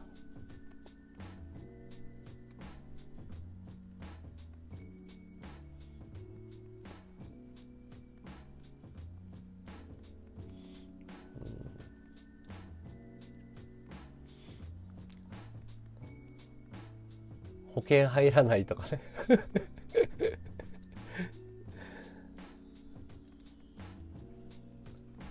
パイセンが出ないから始まったっていうかいやパイセンが出ないのはもう初期の頃だったね捨て頃をイベント化するって言ってパイセン俺がサインした時はもうパイセン出ないってなってたよだからその企画をやるっていう段階で確かもう契約した時にはパイセン出なくて確定だったもんむしろパイセンにはすげえ感謝してたよ。なんかあいつ無料で宣伝してくれるって言ってすげえはしゃいでたよ、便所さん。あいつのおかげでチケット売れるみたいな感じで。なんであいつタダでどんどん捨て頃宣伝しまくんだろうみたいな。毎日宣伝してるよ、みたいな。金馬さんが逮捕された時、ヒカルくんと便所さんと、ほら、あの、会いに行ったじゃん。その時もなんか、ずっと便所さん、あの、光る、あの、便所さんね、あの、パイセンの放送を見てるんだよね。コメント書かないで。ロムってニタニタ笑ってるんだよね。うん。ネガティブキャンペーンは裏目に出るでしょう。うん。ネガティブキャンペーンは裏目に出るでしょだってどんどんどんどん注目しちゃうじゃん。だってもともとなんだっけ？パイセンが便所太郎さんにボクシングに挑戦するっていう企画をやろうって言って、で、それ金になるからって言って工業化すると。メインマッチでやるって言って、で、金取るのは批判的だっつって、あの、なんか、出ないとか言い始めて、じゃあこっちで勝手にやるわっていう流れでしょ。だから流れを作ったのはゆいがさんなんだよね実は。うん。そうだよね。もともとはだから2人で配信だけの企画でやろうって言って金取んのはおかしいって言って大成功しちゃったっていう。いやパイセンからすると悔しいでしょ。自分が言い出した企画でさ。まあ仲良かったからあれでしょ。その企画やるっていうオファーを出したわけでしょ。うん。まあね配信者ってそういう優しいところあるからね。うん、うん、いやうなちゃんマンとパイセンはすごいよねほんと。本当になんかそっくりっていうか兄貴弟って感じがするもんね。あの二人が絡むことってもうないのかな。なんかああの今でこそさもうね有名なあの二人がさ今見たいもんねどんな絡みをするのか。昔の YouTube とか見ると感動するもんねなんか。うなちゃんマンとゆいがさんがなんかやり合ってるよみたいな。見たいよね。もうないんだろうね。お互いに絡み合うことは。面白いよなっていうかあれだもんねゆいがさんの才能を見出したのがまあちゃんまんだからね言っちゃえば。これは伸びるっていう。ゆいがいがい。つって。ああゆいがいがいみんなクズだよ。つって。ゆいがいがい。ゆいがいがいっていうめ すごいろ語呂。ゆいがいがい。うん、うん、草？あそっか。草野球で絡みあるか。あでもなんか対談が見たいよね。対談が。そっか。草野球であそっか。投げてるか。確かに。でもねあれだけだからね。まあ、感動はあるよね。ずっと配信会を追っかけてる人からすると。感動だよな。なんかどんな気持ちで見守ってたんだろう。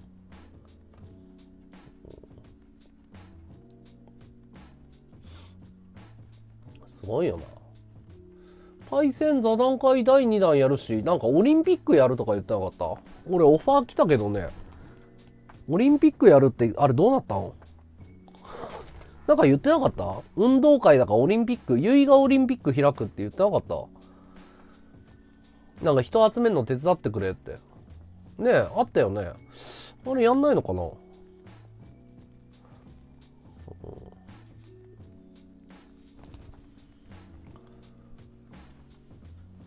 楽しみなんだけどね。なんか、ゆいがさんも結構クラシックな考え方っていうかネットの古い考え方の人だからな。えでもあれってなんかその働いてないっていう情報ツイッターに出てたよ。なんかめくれたっていう速報みたいなの見たけどな今日。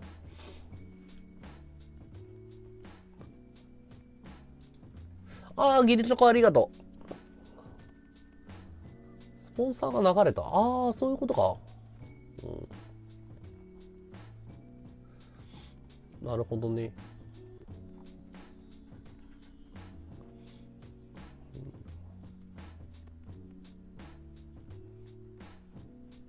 ギリチョコありがとう。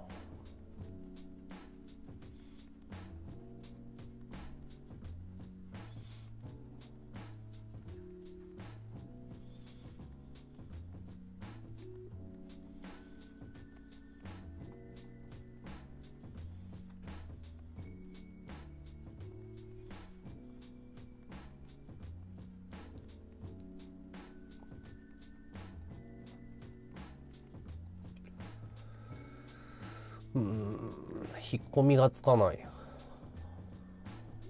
うん。なんかあのなんかねゆいがさんとこれを言ったら怒られるかもしれないけどゆいがさんと鮫島さんって考え方に似てない？ああやめようこの話。怒られる。絶対怒られる。鮫島さんに絶対怒られる。なんかねすごい すごいねなんかその俺はそのリアルを大切にしてるとかその働くことはいいことだとかそのネットの小じはあんまり良くないみたいなそのポジションっていうのかな考え方がすごいゆいがさん鮫島さんって似てるんじゃねえかなと思うんだよねアイテムめちゃめちゃ上がるだろうね。うん。ユイガさんがやったら。なんかね、あの、キャラクターも思想も全然違うんだけど、なんか配信のその考え方とは仕事感みたいなの似てる気がすんだよね。なんか、その、リアルを充実させるべきっていうか、ネットとリアルを切り分けてるっていうか。ごめんごめん。その部分に関してはだよ。そのキャラクターとか考え方とか全然違うけど仕事感とかネットのその課金についてとかすごくなんか似てんじゃねえかなとか思って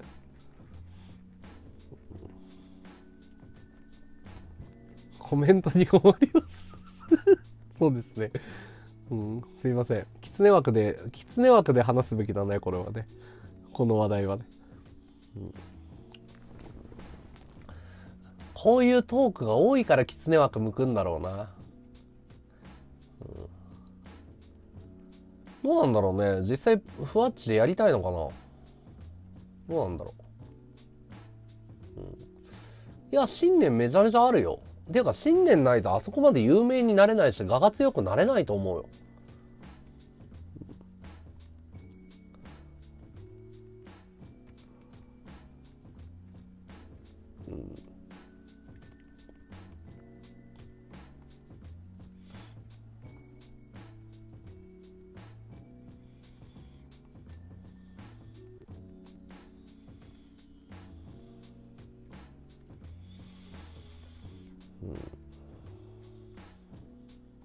ニコ生とか配信の世代があってなんか結構考え方って世代によって違うんじゃねえかっていうのが俺の読みなんだよね。あとそのニコ生からツイキャスに移動した配信者とニコ生に残った人とふわっちから始めた人は全然違うような気がする。結構なんかニコ生から早めにツイキャスに移動した人は柔軟な考え方をするっていうかあとコラボもすごい肯定的ででコラボとかそのファミリーみたいなのをすごく意識するのが俺はニコ生のニコ生原理主義の配信者だと思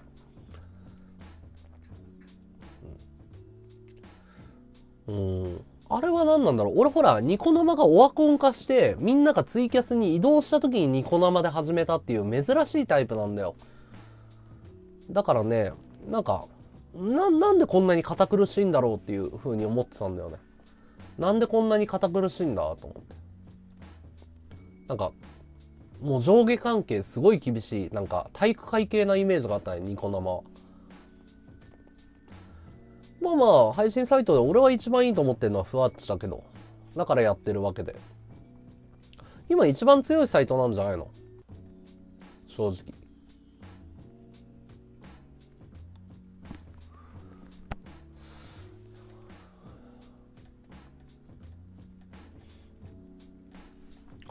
ゆうがさんねプライド捨ててふわっちやったらみんな喜ぶと思うんだけどな。ゆいがさん待ってる気が待ってるよね多分ねみんなね。ゆいがさん来てよっていう声多いと思うよ。花火もめちゃめちゃ上がるだろうし。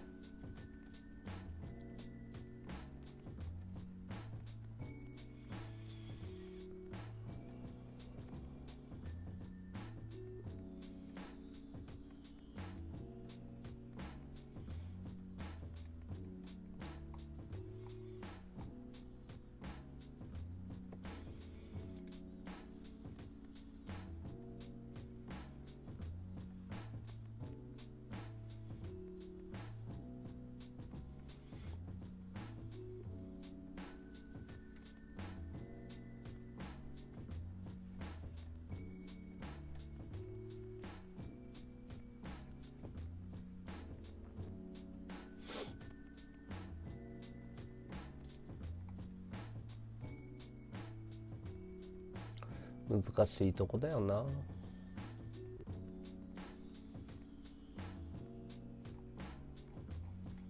うん。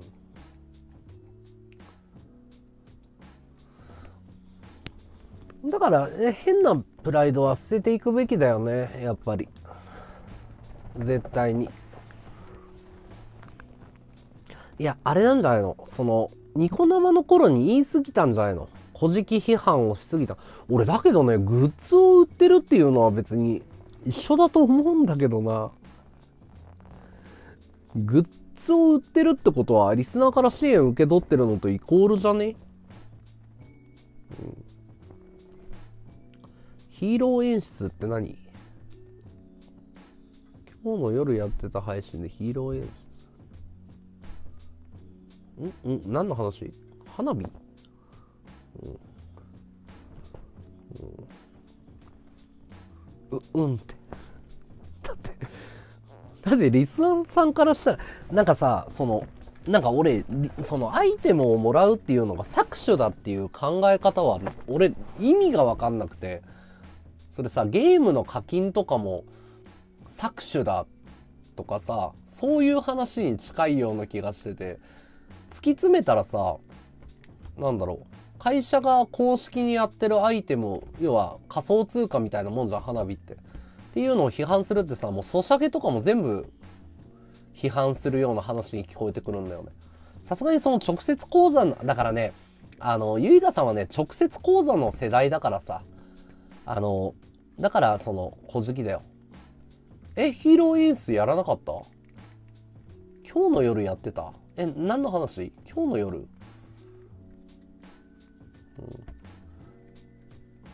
頭からかぶるやつヒーロー演出って何、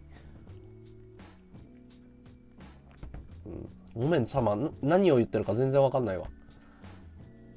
本質は一緒だよね。っていうかあの CD を買うとかライブを見に行くとかほらバンドをやってたからあれ自体がもうお布施だっていう感覚は分かってたのよ。例えばそのライブとかに行くとさ T シャツが6000円パーカー8000円とかするわけじゃん。でも明らかにその1000円とかで作ったパーカーだけど、あのグッズ物って高いじゃん。でもなんで売れるのかってファンが買うのかって言ったらそこでしか買えないし、バンドマンに儲かってもらいたいから買うっていう心理があったから。うん、だし、ほら、バンドマンって売れないバンドマンとかさ、ライブが終わった後楽屋で小遣いもらってたりしてんのよく見てたから、別にそれがネットでやってるだけでしょっていうだけであんまり抵抗感なかったけどな。なんか食えない人はコアのファンが支えるっていうのに慣れてたから若い頃から。バンドなんかそそういう世界じゃん。売れるまでずっとなんかローディローディーつうかそのファンが食わせるとかそういう世界だから。こないだのんちゃんとかぶっててヒーロー演出っていう用語がわかんないね。ヒーロー演出って何？うん。かぶってたやつ。ヒーロー演出って何のこと？シャマ。うん。あの俺は突き詰めればゆいがさんはバカだなんて思ってないですよ、うん、僕は思ってない。コメント欄に書いてあるだけだから、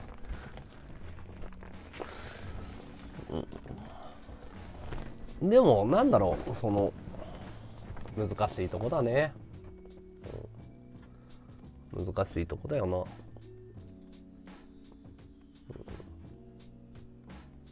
だからふわっちにこれだけリスナーさんがいてねこれだけ一般化したってことはまあ全然いい。だからふわっちが出来たての頃なんかふわっちが捕まるとかわけのわかんないこと言ってた人いたもんね。ふわっちは摘発されるとか言ってたやつらどこ行ったの、うん、配信者もふわっちでやってる配信者も全員捕まるとかさとんでもない論者結構いたよ。あれびっくりするもんだよ。えー、っと、ごめんなさい。シャーマン何言ってるかわかんないけど、すっとぼけられてるって何？花火上がったらやるって言ってたコンドームマンでしょ？コンドームかぶったけど。え、何、何を言ってんの？ごめん、チャマが言ってることがよくわかんなくて、えっ、ー、と、ヒーロー演出やらなかったねっていう、そのヒーロー演出って何？って言ったの。で、コンドームかぶったけど。うん、何を言ってるの？ごめんね、ちゃま。日本語がわかんないわ。ギリチョコありがとう。ありがとう。うん、ブログで支援してくださいって書いてさ。もうやめようぜ、この話。うん。すっとぼけるとかじゃなくて、日本語が不自由。俺の原因じゃなくて、あなたが原因でしょ？完全に。これ何言ってるかわかんないよ、ちゃま。すっとぼけてるって何のこと？何を言ってんの？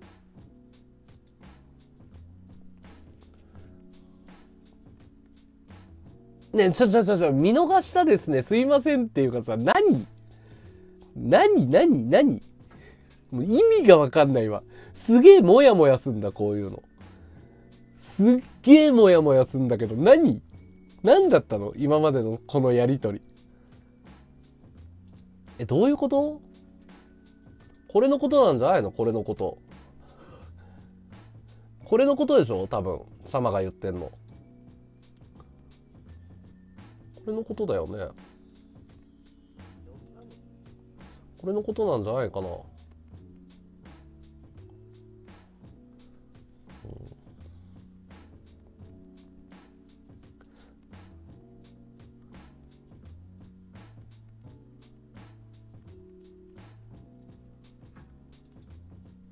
これのことなんじゃないの？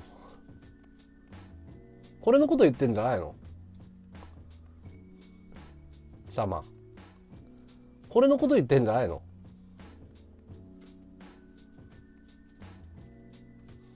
いやもうごめん。な何を言ってんのか全然わかんねえわ。花火上がった時やったじゃん。やったよ。うん。やったよ。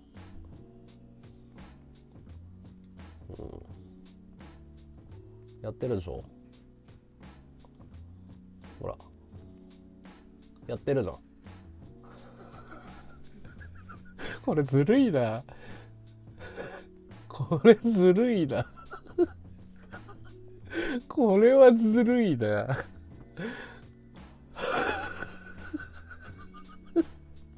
こんなんずるいよな。なんだろう。稲中卓球部の世界でしょこれ。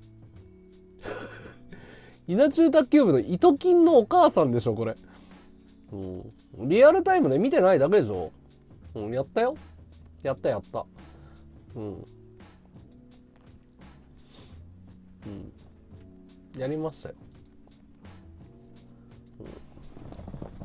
見逃したんじゃなくてブラウザバックしたんでしょ途中で。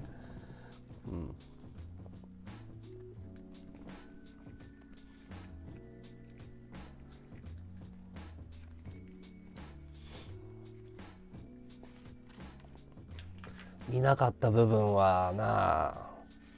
わかんないかんな。いつブラウザバックするかリスナーさんの気分だからな。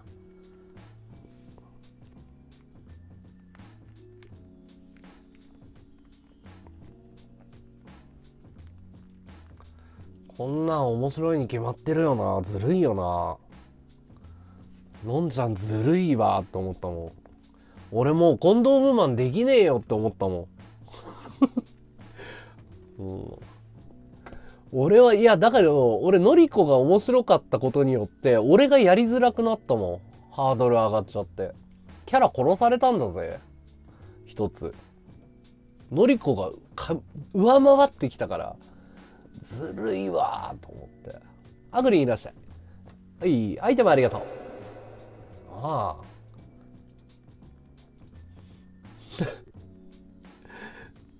ずるいわのんちゃんの圧勝だもん。あれだから女性がやるっていうのがまた面白いんだろうな多分な。男がやるよりね女の人がコンドームかぶった方が面白いもんね。こんなんなだから諸刃の剣だったなのんちゃんにやらせちゃったのは。もう俺がコンドームかぶっても笑いなんか取れないよ。まああと1年寝かせないと。そうやらなそうな人がやった方が面白いんだよ。ギリチョコありがとうカンナなあ。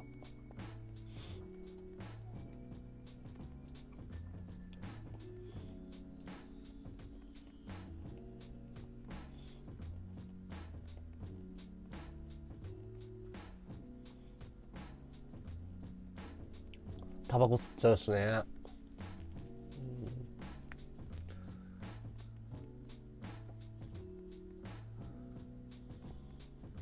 うん。のんちゃん面白いよな。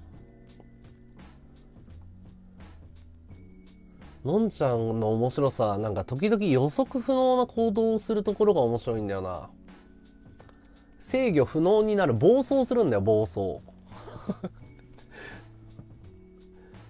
のんちゃんの暴走力は半端じゃないよな。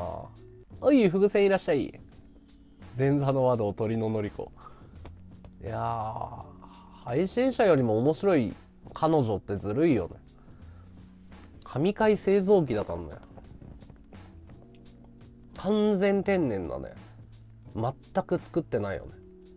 俺でも付き合う前思ったよ。付き合う前思ったけどこれ作ってんのかなキャラクターって思ったよさすがに。この人多分キャラ作ってるでしょと思ったけどもう本当に天然なんだよ。いやそうそうそう S さんの言う通り。なんか何度絡んでもキャラが崩れないんだよ。むしろなんか味を増していくんだよ。いや持ってる持ってる。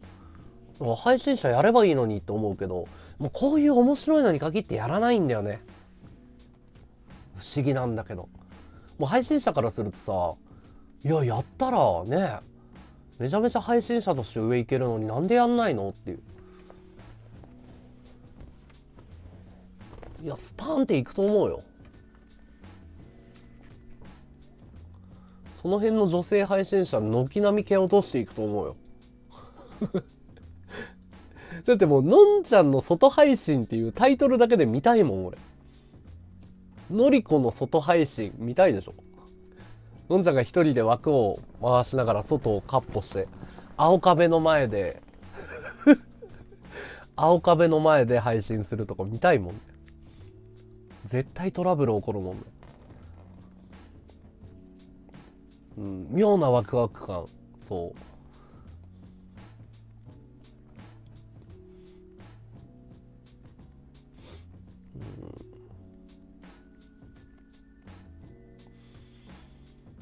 面白い人ほど配信やらない本当に面白いやつは配信やらない。やっぱり客観的に見れないと配信ってできないんだろうな。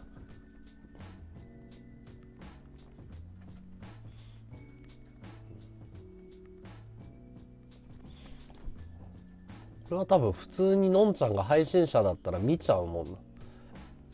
普通にリスナーやると思うわ。のんちゃん多分同じ階級でやったら多分相当強いと思うよ。のんちゃん結構強いと思うよ。体重軽いからその女性同士であの同じ軽量級でやったら多分勝つと思うよ。うん。めちゃめちゃ気が強いから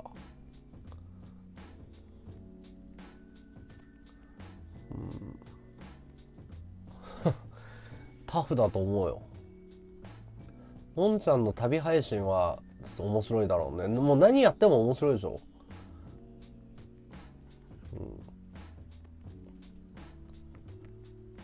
うん、まあ、まあ配信にね、もっと出てほしいけどね。こは難しいところだよな。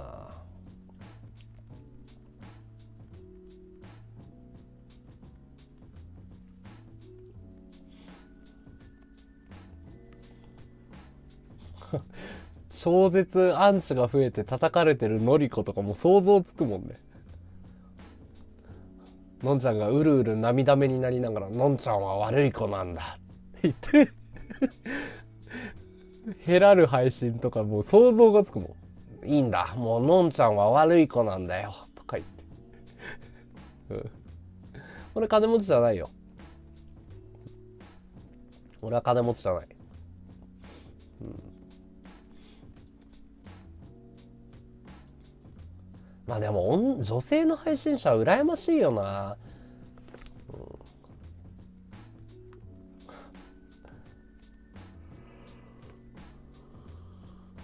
ああスルメ食いながらね、うん、そう最近ねあのベッドにねお腹すいたっつって寝るの俺ああ本命チョコありがとう本命チョコありがとうあゆうこさんお疲れっす本命チョコありがとうあ、チョコ2種類あるんだ。本命チョコっていうのがあるんだ。ありがとうございます。ゴディバかな。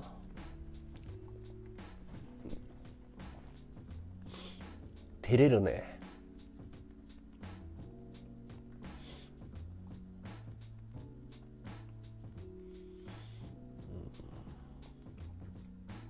腹減ったな。何食おうかな。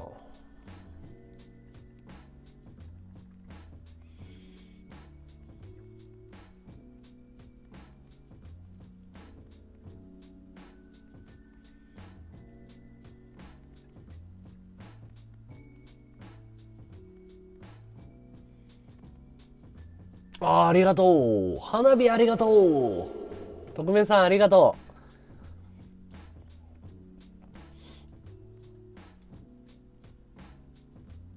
ありがと。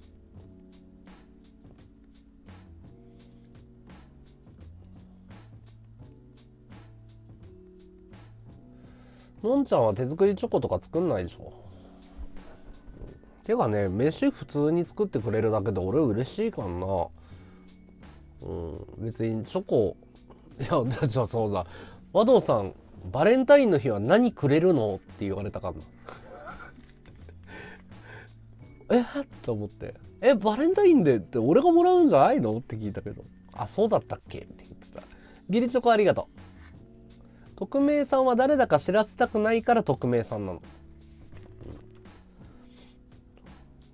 誰か教えないでねって意味だから。まあ俺と匿名さんだけの秘密だよ。俺と匿名さんだけの2人だけの秘密。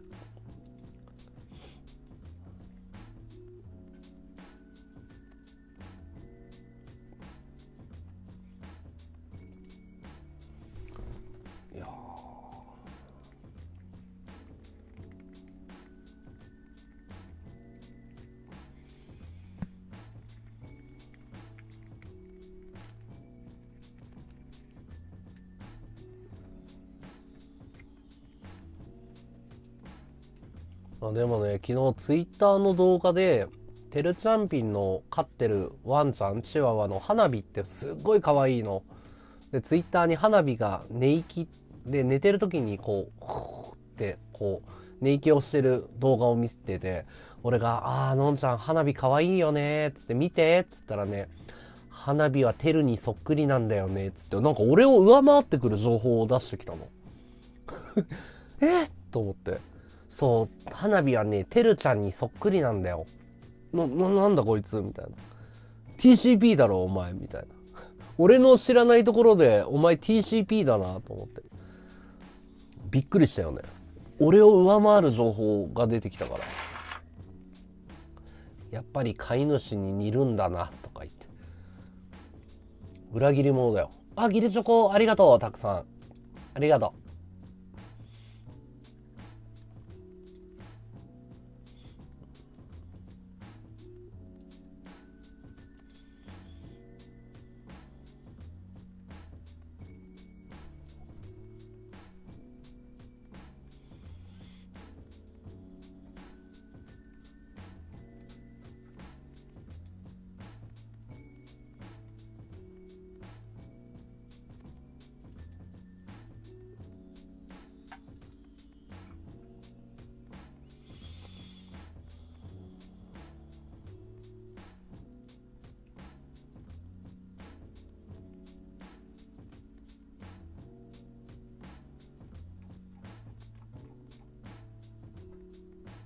ギリチョコはあれでしょマンスリーポイントとかデイリーポイントに関係あるんだと思うよ。メガホンと一緒じゃないかな、多分。で、期間限定だから、多分そのマンスリーポイントですごく反映されるんだと思う。だからまあ好きな配信者にあげたら喜ぶと思うよ。わかんない。いらないっていう人もいるかもしれないけど。多分ね、今までの傾向からすると絶対そうだと思う。だから推してる配信者にみんなあげるじゃん。無料アイテム。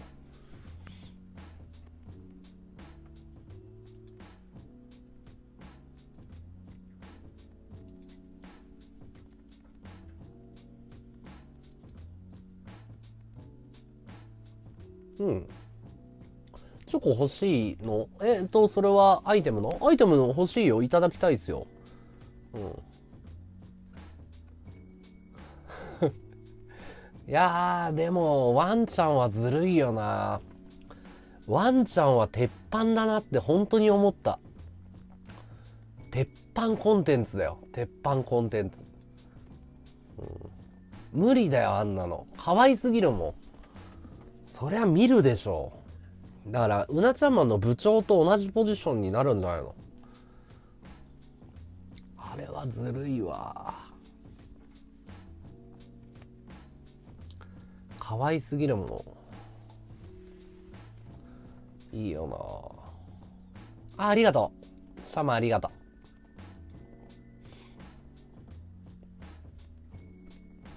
何みんな義理チョコばっかりで俺俺のこと好きじゃないの？俺のこと好きじゃないのかよ。義理の関係だったの？俺ら。まあ俺はのりこが のりこはペットじゃねえわ。今乗っかるところだったわ。そうだな俺にはのりこがいるなって。お前ペットじゃねえよ。のんちゃんは人間だぞ。やめとけお前。危ねえノリだわ。また怒られるわ。のんちゃんは傷つきやすいんだからな。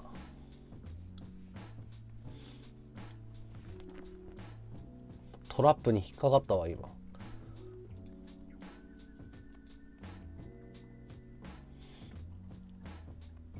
じゃあ皆さんそろそろ寝るわ。おやすみなさい。また明日。